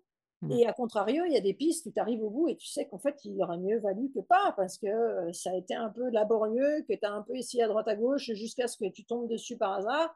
Et là, je me dis, merde, j'aurais dû arrêter finalement. Parce que là, Mmh. le chien, dans sa tête, il se dit, bon, bah, on se promène à droite à gauche, dans le doute, ça peut Et puis faire. finalement, on trouvera un truc, quoi. on Enfin, trouvera, parce que je veux ouais. dire, dans certains endroits, il n'y a pas 36 000 possibilités non plus. hein. Je veux dire, on n'est pas à New York, hein, donc, euh, Mmh. Donc Oui, et voilà. puis, ben, 500 mètres, c'est pas enfin, voilà. pour autant que tu sois parti dans la bonne direction, Voilà. Donc c'est ça, pas le bout et du monde non savoir plus, aussi quoi. dire, ok, ben, euh, voilà, j'arrête, ou il vaut mieux pas aller au bout. euh, et c'est Mmh. ça. Si je peux donner un conseil, c'est vraiment d'essayer de, de- de profiter de la piste et de se dire que c'est pas, c'est pas forcément parce qu'on n'est pas arrivé au bout que le travail était, était pas bien et que le chien ne mérite pas qu'on qu'on le félicite et qu'on le félicite et qu'il faut pas partir en dépression pour ça. Mmh. Oui, bah, comme tu le disais, en fait, finalement, c'est pas, enfin, mais mais ça de manière générale. Puis c'est c'est drôle parce que je je j'ai traduit, il y a il y a bah, c'est y a quoi? Une semaine, un séminaire, bah, de Portal, donc rien à voir avec, le flair, mais où c'était quoi, pardon? le le Portal, sais c'est, pas. heu, c'est du clicker pour les humains. Donc, t voilà, on voilà, on parle beaucoup de de conditionnement opérant et cetera. Ok. Mais, mais ce qui était super intéressant, c'est c'est que, il y avait y a vraiment, une comment dire? Tout un cheminement de de déconstruction, des des comportements finalement parce que et de se dire, ben, souvent, en entraînement, on se focalise sur le résultat. Alors que, et eux, ils disent, c'est ceux les intervenants disaient, en fait, on devrait plus se se se focaliser sur le mouvement. Parce que finalement, c'est le mouvement qui va amener le résultat. Tu vois? Si par exemple, moi, je veux me gratter, le sourcil, heu, tu tu peux me cliquer 50 fois avec mon doigt là, mais tant qu'il est pas là, je peux pas me gratter le sourcil et et en réalité, en fait, on devrait plus se focaliser sur le mouvement que ce le fait que je me gratte, le sourcil, quoi. Un exemple comme ça, mais Non, non, mais je vois, mais voilà et donc en fait, voilà, oui, c'est pour ça que je te le dis parce que, voilà, c'est intéressant parce que ça rejoint ce que tu dis et qu'au final, heu, au lieu de de regarder que le résultat, c'est c'est pareil, moi, c'est pareil, c'est pas pour moi, c'est pas important que, tu vois, en détection, le chien, il trouve ou il trouve enfin, c'est pas oui, c'est pas forcément important qu'il trouve, c'est aussi comment il a trouvé. Est-ce qu'il est remonté à la source? De quelle manière? Comment était la recherche? Parce que, moi, j'ai une spécialiste à la maison, moi, je dis: «Elle fait du tourisme», c'est-à-dire que, voilà, elle se balade, puis tout à coup, ah, elle capte l'odeur et puis elle remonte à la source et «Ah super, voilà». Ouais, voilà, moi, ça, j'aime pas. Mais et ça entre guillemets, «ça m'énerve», mais je suis obligée, bah, évidemment de la récompenser parce qu'elle a quand même trouvé. Mais que que tu vois, j'en ai une autre où j'entends le nez travailler et là du coup, là, je sais, en fait, qu'elle s'est donnée à fond et là, je me dis: «Ouais, là, c'est mérité» que l'autre, là, elle se balade et elle trouve le truc, enfin c'est il y a des minimalistes, hein, celle qui sait Non, c'est clair. hein. Je veux dire, heu, chacun a sa stratégie. Non, non, mais c'était c'est plus pour revenir que, bah, là, tu vois, finalement, bah, dans dans le cas que je viens de décrire, on a 2 chiens qui arrivent au résultat. Mais mais pour moi, ce qui est important, c'est, voilà, comment aussi on est arrivé au résultat. Ouais, je Des suis résultats gratuits et des résultats qui méritent qui méritent un meilleur salaire. Ah moi j'avais bien aimé, heu, j'avais parlé avec, heu, bah, toi tu le connais avec Cameron Ouais. et qui me disait que lui, ben, il alors il faisait beaucoup de ce qu'ils appellent le blank search, donc des Mmh. recherches, à vide, je sais pas comment on dit en français. Oui, c'est juste recherche à vide. Voilà et que lui, bah, par contre, heu, même si son chien et ça c'est quelque chose par contre qu'on pratique pas en mantrailing, c'est qu'il récompensait son chien, heu, aussi même si, il le chien avait pas trouvé, dans le sens que, Mmh. moment, il interrompait le travail du chien et qu'il donnait une une vraie récompense. Mmh. C'est vrai que nous en mantrailing, on le fait pas et je me s c'est vrai qu'après avoir parlé avec lui, je me suis un peu remis en question. Je me suis demandé: «Est-ce que ce serait une option?» et en fait, je pense pas parce que je pense qu'il y a quand même beaucoup de chiens qui, heu bon déjà, comment dire? Nos lors de nos entraînements, la plupart du temps, les chiens arrivent au résultat et je je c'est on va dire, c'est une question sur lequel je suis pas encore je suis pas encore il y a pas pour moi, il y a pas encore eu de réponse. Je Ouais. Bah, la question ce serait de de comment le faire en fait, enfin comment voilà, le faire mais il y en a qui le font, c'est-à-dire un autre problème? ouais, voilà, il y en a en fait mais moi j'ai vu ça et je me souviens de stage où je me suis genre, je me souviens d'un d'une piste avec un chien, on n'avait pas arrivé au bout de la piste et la meuf, elle a sorti son son une mâchouille, enfin un bâton à mâchouiller qui était quasi le même a la personne, heu, au bout de la piste avait et puis elle lui a donné ça. Puis moi j'ai dit: «Mais pourquoi?»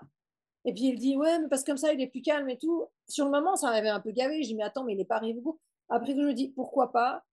mais mais mais c'est dans ma tête, je me dis: «OK, il a pas trouvé, c'est pas la fin du monde, il a pas eu sa pâtée aujourd'hui, heu, si si tu as bien fait des choses, il y a aucune raison que le chien soit pas motivé à travailler la prochaine fois».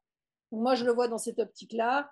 Hem, je pense que le pistage est aussi très auto-récompensant pour le chien. C'est c'est-à-dire qu'ils font pas pour moi, c'est pas c'est pas possible qu'ils fassent ça que pour la pâtée au bout parce que nos chiens Oui, mais tu vois, on pourrait alors là, on va aller un petit peu plus loin parce qu'on pourrait se poser enfin, ce que tu viens de dire, on pourrait se poser la question dans l'autre sens, c'est-à-dire de finalement de dire, heu, ben, OK, elle l'a fait, elle l'a récompensé. Est-ce que ça veut dire que le chien, il va devenir plus flemmard et qu'au final, heu, à un moment donné, il va plus partir? Je sais pas. Je sais pas. Je le dis sincèrement, je sais pas. Heu, je pense que pour certains chiens, ça pourrait les rendre minimalistes, mais comme comme c'est pas quelque chose que je fais, c'est-à-dire que Mmh. la plupart des gens, voilà, quand, heu, ça se passe pas, ça se passe pas, c'est pas grave. De toute façon, on voit très bien les chiens les chiens en en voilà, ils ça faisait ça fait 3 secondes qu'on est arrivé à la piste, ils sont contents, ils se roulent par terre, ils on les laisse faire leurs affaires. C'est pas on les prend au pied et puis maman ouais. non, c'est pas ça, c'est bon, bon, OK, on rentre à la voiture, heu, tu peux renifler tes petites odeurs. Rentrer à la voiture, le chien, il a complètement oublié et puis moi, de toute façon, quand mes chiens, ils montent dans la voiture, je leur donne deux trois croquettes, heu, qu'ils aient fait leur piste ou pas. Heu, après, il faut aussi comprendre qu'en pistage, il y a aussi ce phénomène d'interaction avec la personne au bout de piste, hein. Le la mh. plupart du temps, il y a des exceptions, mais le chien est récompensé par la personne au bout de la piste. On mh. c'est et donc, je voilà, pour moi, si c'est moi qui donne maintenant la boîte avec la la pâtée, alors oui, mon chien, il va la manger, mais il manque un peu ce truc-là, je trouve. Ouais. Donc finalement, dans le doute, je me dis: «Ils ont pas forcément besoin». J'ai jamais eu aucun problème de motivation parce que le chien n'avait pas fait une piste. Donc heu, le fait de pas récompenser pour moi n'a pas d'effet négatif. Mmh. Heu, après voilà, maintenant si quelqu'un, heu, récompense quand même, maintenant je dis plus rien en fait, je parce que je le sais pas. Je je sais voilà, j'ai pas de données, j'ai pas fait d'études là-dessus, j'ai pas le temps de trop de me poser la question. Mmh. Mais mais voilà, nos chiens de toute façon, heu, ils mangent le matin, ils mangent le soir, ils mangent trente-six mille croquettes entre deux. Ah, ils le font pas pour manger, ça c'est sûr. Je Enfin, pense pas qu'ils puissent pour manger, il y a d'autres facteurs qui rentrent en compte, heu, en tout cas les tous les oui, chiens comme tu disais, si s'ils ont pas leur, heu, enfin, s'ils sont pas récompensés, pareil, ils vont pas c'est pas une question de survie. Pas vont une pas de mourir, voilà, c'est pas, oui, non, je pense pas vraiment. Donc voilà, je pense que ça ça fait partie des questions, il y a pas juste ou faux en fait. c'est ça. Chacun de faire un peu comme il veut. Mmh. Moi je me dis: «Bah, j'ai éco j'ai économisé un tube, c'est bien. À C'est à 3 comme balles le ça. tube, on prend». OK. Hem, alors on arrive gentiment au bout, mais c'est pas encore fini. Heu, bah, vu que voilà, ton cœur de métier, c'est quand même le man-trailing, heu et puis que tu disais, heu heu, voilà, avant on disait que, heu, tu tout le monde pouvait le faire, que ça s'adressait à tous les chiens et puis, bah, maintenant tu enfin voilà, c'est c'est quand même un peu plus nuancé. Du coup, d'après toi, grosso modo, à qui s'adresse le man-trailing? Alors, je 7 à 77 ans ou peut-être quand même pas Si, alors si, si, c'est ça ça ça je pense que ça s'adresse à quasi tout le monde, mais ça s'adresse surtout aussi aux gens, Alors déjà, il faut, faut aimer être dehors. Parce Mmh. qu'en main training, on passe, euh, si c'est un cours qui est pas trop long, on passe deux heures et demie, deux heures et demie dehors, mais ça peut aussi être la journée. Donc, il faut aimer être dehors et puis on choisit pas la météo. Mmh. C'est vrai qu'en général, on fait ça par tous les temps. Euh, pour moi, les exceptions sont quand même les grosses chaleurs. Les gens chez moi, ils savent, euh, juillet, août, on, planifie les cours, mais possible qu'on annule un jour Ouais. avant parce que je pisse pas par 35 degrés. Mmh. Mais sinon, de plus ou moins, c'est pas parce qu'il pleut un peu qu'on va pas pister. Donc déjà, il y a ça. Il faut aussi être conscient que ben, c'est du donnant-donnant. Le main training, on peut pas faire ça tout seul, en fait, contrairement à la détection. On, est, euh, on a besoin des autres, donc ça veut dire qu'on doit être aussi à disposition des autres. Donc on va rester planqué euh, 45 minutes, voire une heure, euh, sous un container, euh, dans une poubelle pour ceux qui aiment, euh, assis sur un banc. Enfin, ça peut être parfois un peu désagréable. Donc, donc faut aussi, il y a cet aspect-là euh, d'être dehors et puis aussi de tout simplement de glander, d'attendre. euh, voilà. Mmh. Donc déjà ça, euh, il faut quand même un minimum de mobilité. Et ça, c'est pas lié à l'âge. Il y a des gens de 50 ans qui sont moins en bonne forme que des gens de, 60 des gens de 70 ans. Mais le fait est, c'est que on est derrière un chien et euh, on doit bouger. Il faut être un minimum, un minimum de coordination. Et c'est vrai que par le passé, j'ai aussi eu des binômes où malheureusement, ça pouvait pas le faire. La dame de 50 kilos avec un Saint-Hubert de 65 kilos, c'est de la physique. Euh, Mmh. et vraiment, ben, le problème, c'est que ça devient dangereux. Ça devient Mmh. dangereux dans le sens qu'on peut tomber, on peut se faire mal.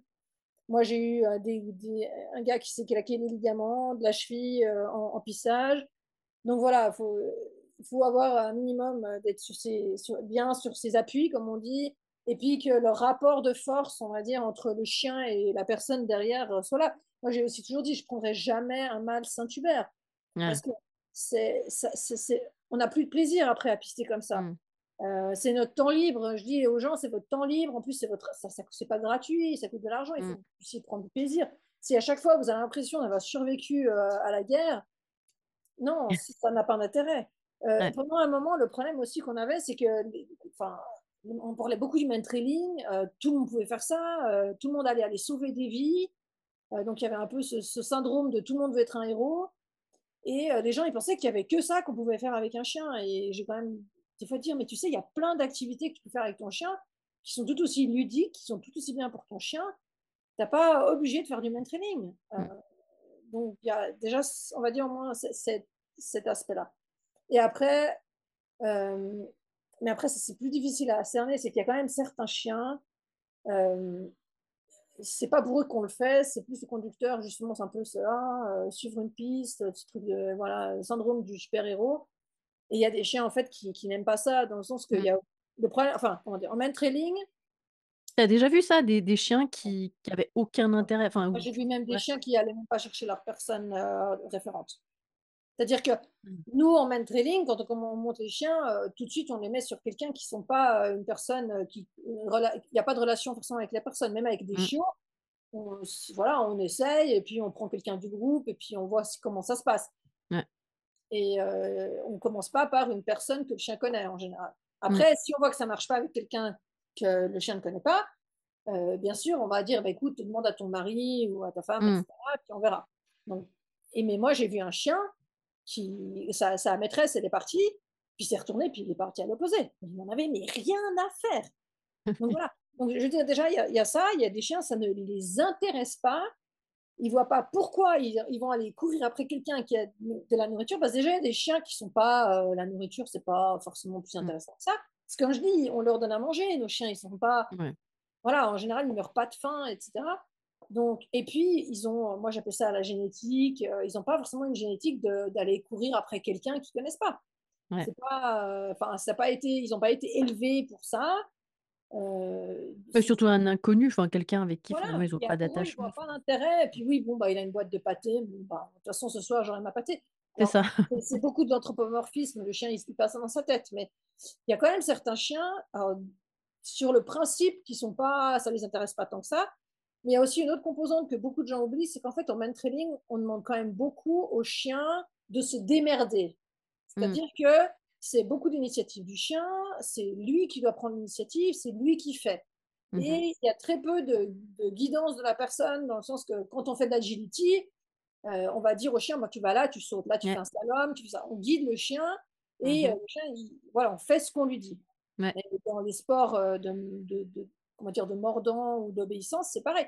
ouais. Le chien, on lui apprend un truc et puis quand je te dis tu le fais, tu le fais. Alors qu'en training, il n'y a pas du tout cette composante-là. Alors bien sûr qu'il y a un conditionnement pour l'apprentissage de ce qu'on Mmh. lui demande, mais c'est, ça s'arrête là. Et il y a des chiens qui n'aiment pas en fait cette responsabilité. On voit, euh, oh mon Dieu, oh mon Dieu, oh mon Dieu, oh mon Dieu, il faut que je fasse. Oh mon Dieu, non, non, ils veulent pas. Dis-moi, dis-moi ce que je dois faire. Moi, ça me va très bien. Tu me dis de m'asseoir, je m'assois. tout. Donc il y a aussi cette composante qui, euh, qu'on, euh, à mon avis, on ne pense pas trop assez à ça. Et pour moi, c'est très, très important quand même, quand je travaille avec des chiens qui, qui aiment ça, qui prennent un minimum de Ouais. plaisir. euh, on voit, euh, voilà, qui s'éclatent. Après, bien sûr qu'on adapte au niveau du chien, et pas tous les chiens peuvent accéder au niveau d'aller pister dans des milieux Mmh. difficiles. Mais au moins que, voilà, dans, on va dire dans, dans son environnement où il se sent bien, où il est à l'aise, euh, qui, qui, qui prennent du plaisir à faire ça. Donc, et après, par contre, si on parle d'un- chien euh, dont, dont le but, et ça on va dire être professionnel, euh, que ce soit un chien de police ou un chien de secours, là, il faut, pour moi, c'est impératif d'avoir un chien qui, qui soit euh, bien, bien dans ses baskets. C'est-à-dire qu'il faut un chien qui soit à l'aise dans tous les environnements, euh, qui n'ait pas, voilà, qui, qui ait pas peur des bruits, qui n'ait pas peur. de- Moi, j'ai vu des Ouais. saint qui, malheureusement, si même si au niveau olfactif ils étaient euh, sensationnels, ils pouvaient pas pister en ville parce qu'ils avaient peur des voitures, ils avaient peur du bruit, euh, il y avait trop de gens. euh, donc voilà. Mmh. Donc euh, le- tout cet aspect aussi environnemental. Et pour moi, à partir du moment où on va aller dans l'optique professionnelle, il faut un chien.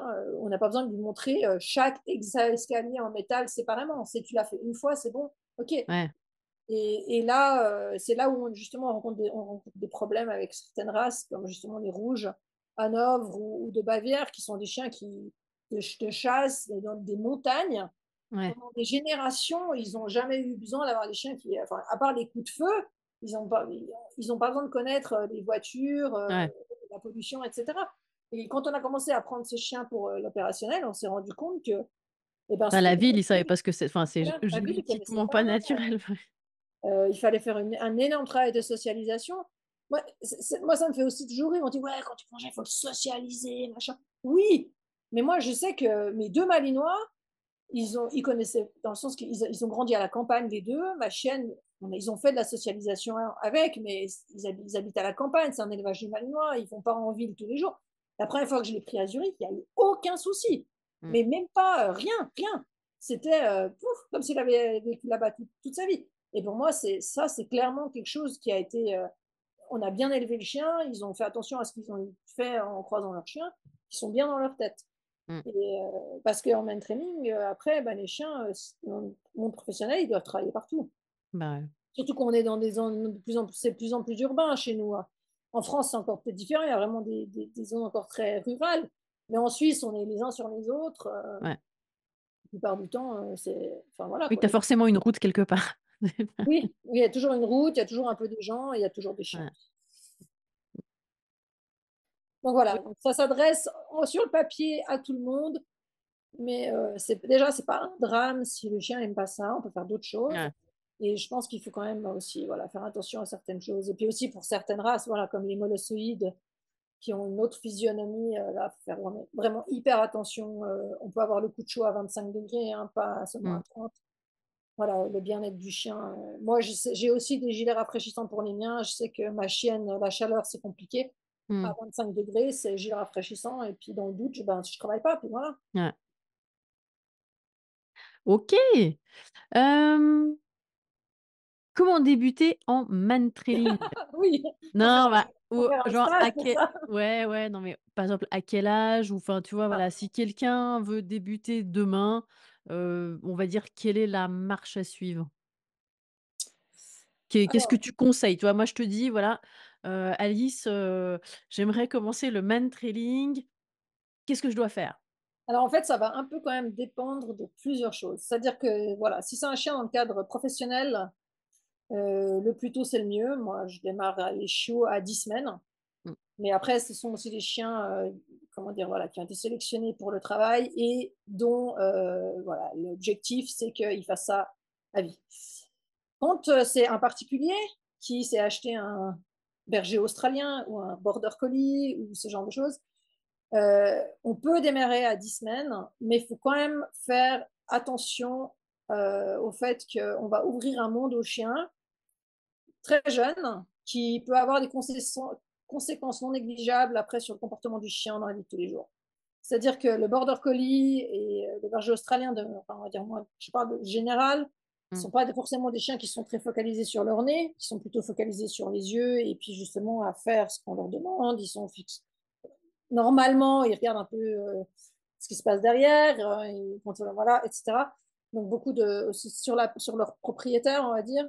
Ouais. Euh, et quand à 10 semaines, on leur dit, on leur montre qu'en fait, pister des, des odeurs, c'est hyper cool, c'est très récompensant, ça fait de la dopamine, c'est la tract, c'est génial. Euh, on n'est pas à l'abri qu'ils se disent Ah, mais finalement, je pourrais aussi essayer le chevreuil, et puis le lapin, et puis le chat. Mmh. Et on, on, peut créer des problèmes à, ce niveau-là. C'est-à-dire qu'un chien qui va peut-être que partir s'il voit un chat, il risque de partir aussi quand il le sent, le chat. Mmh. Et je, je, pense vraiment, et je m'en rends compte aussi euh, avec ma, ma chienne, c'est que le fait de lui avoir appris à utiliser aussi bien son nez, ça n'a pas été que bénéfique pour notre euh, vie de tous les jours. Je ne le regrette absolument pas parce que je l'ai pris pour ça et puis euh, elle est juste excellente dans ce qu'elle fait. Mais je pense aussi que si je, mettons que si j'avais fait que de la détection sans justement cette composante de tract, parce qu'elle, c'est vraiment ce qui lui plaît le plus, c'est vraiment la tract. C'est une obsession pour elle. J'ai renforcé ça euh, mmh. et, et, malheureusement, juste la piste ne suffit pas, ça n'assouvit pas ses besoins et c'est quelque chose qu'elle recherche pratiquement constamment en fait. Mm. Et donc c'est pour ça que quand quelqu'un me dit je veux débuter en main training, je vais quand même demander euh, qu'est-ce que c'est comme chien, quel est quel est l'âge du chien. Après, si c'est un chien qui oui, puis après, après expliquer et puis les gens ils font leur choix de manière éclairée, quoi. Mais effectivement, ah après moi je tout le monde peut venir, mais au mm. moins ils ont été prévenus. Alors je leur fais pas de signe de papier non plus, mais euh, je veux dire moi comme ça ils ont entendu au moins euh, les des avertissements. Et mmh. voilà, après, si c'est un chien adulte, euh, ouais, là, il y a moins de risques. Hein, ah, Voilà, le truc, c'est qu'en fait, c'est quand on a une race atypique, on va dire, donc euh, des chiens qui ne sont pas forcément euh, été élevés dans cette optique de pistage. on va prendre un lévrier, par exemple. Mmh. C'est clair que si on veut vraiment pister avec un lévrier, il vaut mieux commencer tôt dans ce sens-là, parce qu'au moins, voilà, on se dit, il y a peut-être une chance que ça marche ce sera plus facile que si on commence à 3 ans. Mais le lévrier qui, qui, court derrière le lapin juste en visuel, on risque d'avoir un lévrier qui piste le lapin aussi. Donc en fait, c'est un, peu ça le problème. Donc euh, ça dépend quand même beaucoup aussi des attentes des gens. Et puis, euh, et puis voilà, après, si les gens, voilà, là, ce qui se passe souvent, c'est que les gens, ils viennent avec, ils ont un chien, et puis ils viennent, puis ils prennent goût, et puis ce chien, il a un certain âge, et on pense au prochain chien. C'est là souvent que les, choix se font dans le sens quelle est l'importance que j'accorde à, cette discipline? Et qu'est-ce que je suis prêt à faire comme concession dans la vie de tous les jours pour la pratiquer? Mmh. Euh, parce que voilà, si on est vraiment sérieux, qu'on veut vraiment qu'on adore ça, qu'on est accro à ça, bah, tu prends pas un Terre-Neuve. voilà, c'est l'exemple extrême, mais c'est vraiment Moi, ça me surprend même, ça me surprend encore, c'est qu'il y a des personnes qui ils commencent, ils, ils adorent ça, et puis ils, reprennent un chien, et puis c'est un mini bull terrier, puis il veut faire du main trailing, et puis ça marche pas. Puis je me dis, mais, mais pourquoi? Je veux dire, la probabilité que ça marche, elle est, elle est tellement faible avec ce genre de chien. Mais après, je pense que ça, ça dépend. Enfin, ça, c'est vraiment une question de, de priorité. C'est est-ce que, enfin, c'est ce que priorisent les gens. Est-ce que on priorise l'activité ou est-ce qu'on priorise le type de chien, quoi? Oui, mais après, c'est quand même des gens qui s'inscrivent à quasi tous les stages et puis on avance pas. Et tu dis, mais en fait, ça te plaît, mais.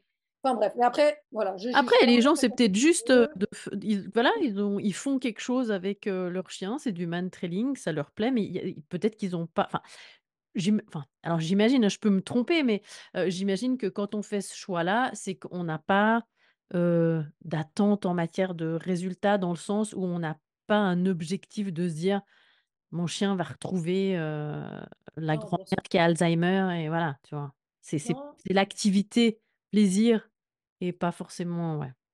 Et je pense qu'il y a aussi quelque chose de non négligeable en main trailing, c'est tout l'aspect social en fait. C'est-à-dire qu'on est dans un groupe en général de personnes, enfin pas en général, dans un groupe de personnes Et il y a tout, ce qui se passe autour, en fait. Il y a tout cet aspect, de parler avec des gens, de discuter, enfin, moi, c'est quelque chose que j'apprécie Ah, beaucoup puis dans moi, je sais qu'il y a des groupes où ils font l'apéro à la fin, hein. Ah oui, voilà, voilà, exactement. Donc en fait, moi, je me rends compte, j'ai de la chance, c'est toujours, heu, une très bonne ambiance dans les groupes. C c'est pas des groupes fixes, hein, les gens s'inscrivent aux cours, heu, après au bout d'un moment, les gens, ils se connaissent un peu les uns les autres, mais c'est Ouais. pas, tous les mercredis la Oui. même et Ouais. cetera. Et je pense il y a quand même aussi, ce gros truc de, ben, de de voir d'autres gens que les gens du job, de pouvoir parler chien, heu, parler que ça sans saouler, heu, les autres. Parce que quand on travaille dans un bureau, de parler de son chien, au bout d'un moment, les gens, ils en ont marre claque. Enfin, Mmh. ça ça les embête.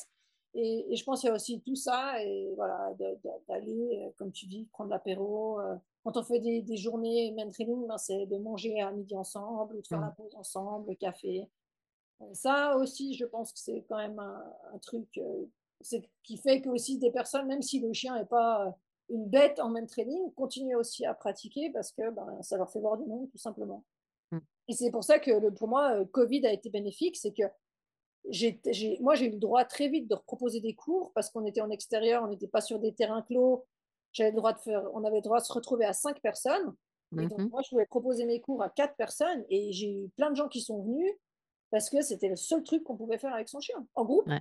C'était Ouais. l'occasion de voir du monde. Et Mmh. ça, je m'en suis vraiment rendu compte pendant le covid, en fait. Ouais, l'aspect social, ouais. Ouais.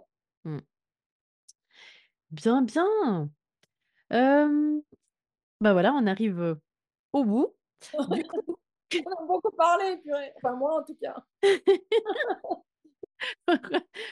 Parce que tu regardais l'heure? Non, bah, je vois là, oui, bah, mon ordinateur me montre que c'est 20:45 donc je me dis: «Oh mon Dieu, on a beaucoup parlé». Et ça, ça surprendra ceux qui me connaissent ne seront pas surpris. Non. Hem, ce qui est surprenant, c'est que moi, j'ai pas beaucoup non, je rigole. Non, non, mais c'était hyper intéressant, heu, de t'écouter. Puis, bah, de toute façon, heu, à part, heu, à part dire, heu: «Oui, je suis d'accord avec toi, je suis d'accord avec toi», j'avais pas grand chose à dire. C'est pas vraiment un débat, comme on dit, hein? Bah, non, là, p pour le coup, non, pas tellement. Enfin, il aurait vraiment fallu que je f je me fasse l'avocat du diable, tu vois? Hem, OK, donc comment est-ce qu'on peut te contacter? Voilà, pour les gens qui s'intéresseraient à, mmh, à finalement aux activités que tu proposes. Qu'est-ce qui est le plus facile? Est-ce que tu as un site internet? Est-ce que c'est les réseaux sociaux, Facebook, Instagram? Alors alors oui, on a Instagram, mais en fait, on se rend compte qu'on on touche pas forcément beaucoup de gens. Le plus facile, c'est soit par Facebook où je suis avec mon mon nom, Alice Dobler, tout simplement. On peut m'envoyer des messages privés et j'ai aussi un site internet, hem, canine-manhunters.ch. Là, il y a aussi un formulaire, heu, pour, heu, me contacter. Après, c'est le site, est en allemand parce qu'il est vraiment plus dans l'optique des gens ici. C'est vrai que Ouais. c'est toujours aussi intéressant pour moi, c'est que la plupart des demandes pour des stages, on va dire à l'international, passent par le le Messenger Facebook ou par Mmh. mail. Il y a des des gens qui ont récupéré mon mail de de tierces personnes, et pour les par contre, les les personnes en Suisse, en dans dans ma région, en tout cas, ça passe par Ouais, il ça. passe par le site, ouais. C'est un peu comme vous voulez, mais sinon, heu, Facebook, il y a pas de souci, hein. Je je réponds, heu, si je les rate pas, je réponds à tous les messages. Cool, ça marche. Hem, bah, voilà, donc un mot de la fin? Est-ce que tu as une conclusion à faire? Bah, évidemment en rapport avec le travail de flair ou éventuellement le mentoring, enfin comme tu veux, mais je te laisse, le mot de la fin. Bah, déjà, je te remercie, c'est mon 1er podcast. Heu, j'avais fait des Oh! webinaires, mais j'avais pas encore fait de podcast, Ah excellent! Heu, moi, Ouais, je c suis bah, j'écoute, heu, régulièrement des podcasts et j'écoute beaucoup la radio. Moi, j'adore ce média, donc c'est cool pour moi de me dire que j'aurais fait, un peu de la radio, pour la 1re fois, donc ça, c'est c'est vraiment chouette et puis, je pense que tu t'es rendu compte, moi, j'a j'adore, parler, chiens, j'adore parler mentoring. Pour moi, c'est vraiment une vraie passion, ma vie est organisée autour de mes chiens. Je sais que ça peut paraître un peu fou, mais heu, pour moi, ça ça coule de source. Heu, j le bien-être de mes chiens est hyper important et moi, je vais bien si mes chiens vont bien, donc Mmh mh. donc voilà et j'adore le mentoring. Pour moi, c'est vraiment quelque chose qui me fascine encore, ça fait, bah, maintenant bientôt 15 ans, non pas complètement, mais 14 ans que je fais ça. Je trouve c'est tellement fascinant comme discipline et il y a quand même quelque chose dont j'ai pas parlé, c'est ce que j'aime dans cette discipline aussi, c'est qu'on peut pas on peut pas travailler dans le coercitif, on peut pas forcer Mmh. les chiens. C'est tout basé sur c'est aussi ce challenge, en fait, de comment je vais motiver ce chien à faire ce travail pour lui, mais pour moi aussi un petit peu. Heu, dans plein d'autres disciplines, heu, on on peut, heu, forcer le chien, hein, il veut pas s'asseoir, on lui appuie sur les fesses, il s'assera. Heu, je dis pas qu'il faut faire ça, mais le le principe, c'est que voilà et alors qu'en main training, c'est complètement impossible. S'il veut pas, il veut pas. S'il a Mmh. pas compris, il a pas compris et c'est ça aussi qui me fait évoluer aussi en tant qu'instructrice, hein, c'est qu'il y a des fois des chiens qui sont très compliqués et heu, il faut les prendre comme ils sont et heu, leur faire Ouais, on deviner est ça nous demande de nous adapter, en fait. C'est pas le chien qui va s'adapter à nous, contrairement à d'autres disciplines, effectivement, ouais. et Mmh. puis si je peux donner un conseil aux aux futurs, heu, main trailers, c'est, hem, évite enfin comment dire? La sonnette d'alarme, c'est si quelqu'un vous dit: «On fait comme ça et pas autrement», heu, c'est comme ça parce que je l'ai dit. Heu, si les gens sont pas capables de vous donner une explication pourquoi on fait les choses. Moi, je me suis pendant toutes ces années, je me suis quand même rendu compte, il y a beaucoup de gens qui faisaient des trucs. Quand tu leur demandais: «Mais mais pourquoi tu fais ça?» «Parce qu'on m'a dit qu'il fallait que je fasse comme ça». OK et heu, je suis je moi, j'aime pas les dogmes, je pense qu'il y a bien sûr des choses générales qui marchent pour beaucoup de monde, mais pas tout marche pour tous les chiens. Il faut s'adapter, il faut se remettre en question et et voilà donc heu, privilégier quand même des des gens qui sont aussi à l'écoute Mmh. et heu, qui qui peuvent vous expliquer pourquoi ils font les choses et heu, si et aussi suivez votre intuition. Si si votre, estomac vous dit que non, ben, c'est non. Le bon sens, c'est quand même quelque chose c'est une valeur qui se perd malheureusement, mais pourtant c'est une valeur tellement, tellement importante, aussi avec les chiens. C'est que voilà, si votre intuition vous dit non, bah, arrêtez. Mais voilà, si moi je je voilà, je suis une grande fan de cette discipline. Je pense que c'est quelque chose aussi qu'on peut faire avec des chiens à tout âge. Ils peuvent faire ça très longtemps. Heu, je connais beaucoup de chiens, enfin beaucoup, j'exagère un petit peu, mais je connais des chiens, ils ont vraiment ils ont pisté jusqu'à quinze, quinze ans, heu, jusqu'à Waouh! 3 jours avant de mourir, ils pistaient Ah ouais. c'est quelque chose que quand un chien aime ça, heu, ça Mmh. use pas le chien, c'est ça qui est bien aussi, contrairement à à tous ces sports. Je je ne les dénigre pas, moi aussi j'ai fait du du sport canin, c'est chouette aussi. Mais le mordant, on peut pas en faire jusqu'à 15 ans, l'agility, on Mmh. peut pas en faire jusqu'à 15 ans. Heu, le training c'est quelque chose et la détection pareil d'ailleurs, le travail de flair, c'est quelque chose qu'on peut faire toute la vie du chien et et c'est ça qui est c'est ça qui est chouette et moi personnellement, je m'en lasse pas. Donc heu, voilà, je sais que mes prochains chiens, ils feront du main training, même si maintenant le le choix de mes chiens se porte pas forcément que là-dessus. Avant, c'était vraiment: «Je veux faire absolument ça». Maintenant, je vois aussi qu'il y a d'autres critères, heu, qui rentrent en compte dans le choix de mes chiens, mais voilà, pour moi, ce serait quand même compliqué d'avoir un chien qui a pas envie de pister, ça, je le dis sincèrement. Mmh. Donc voilà. Super! Bah, écoute, merci beaucoup Bah, merci à toi, c'était et chouette ouais et puis, ben, à à une prochaine. À bientôt, j'espère, j'espère. bah, de toute façon, je vais te recontacter très vite, hein. Avec plaisir.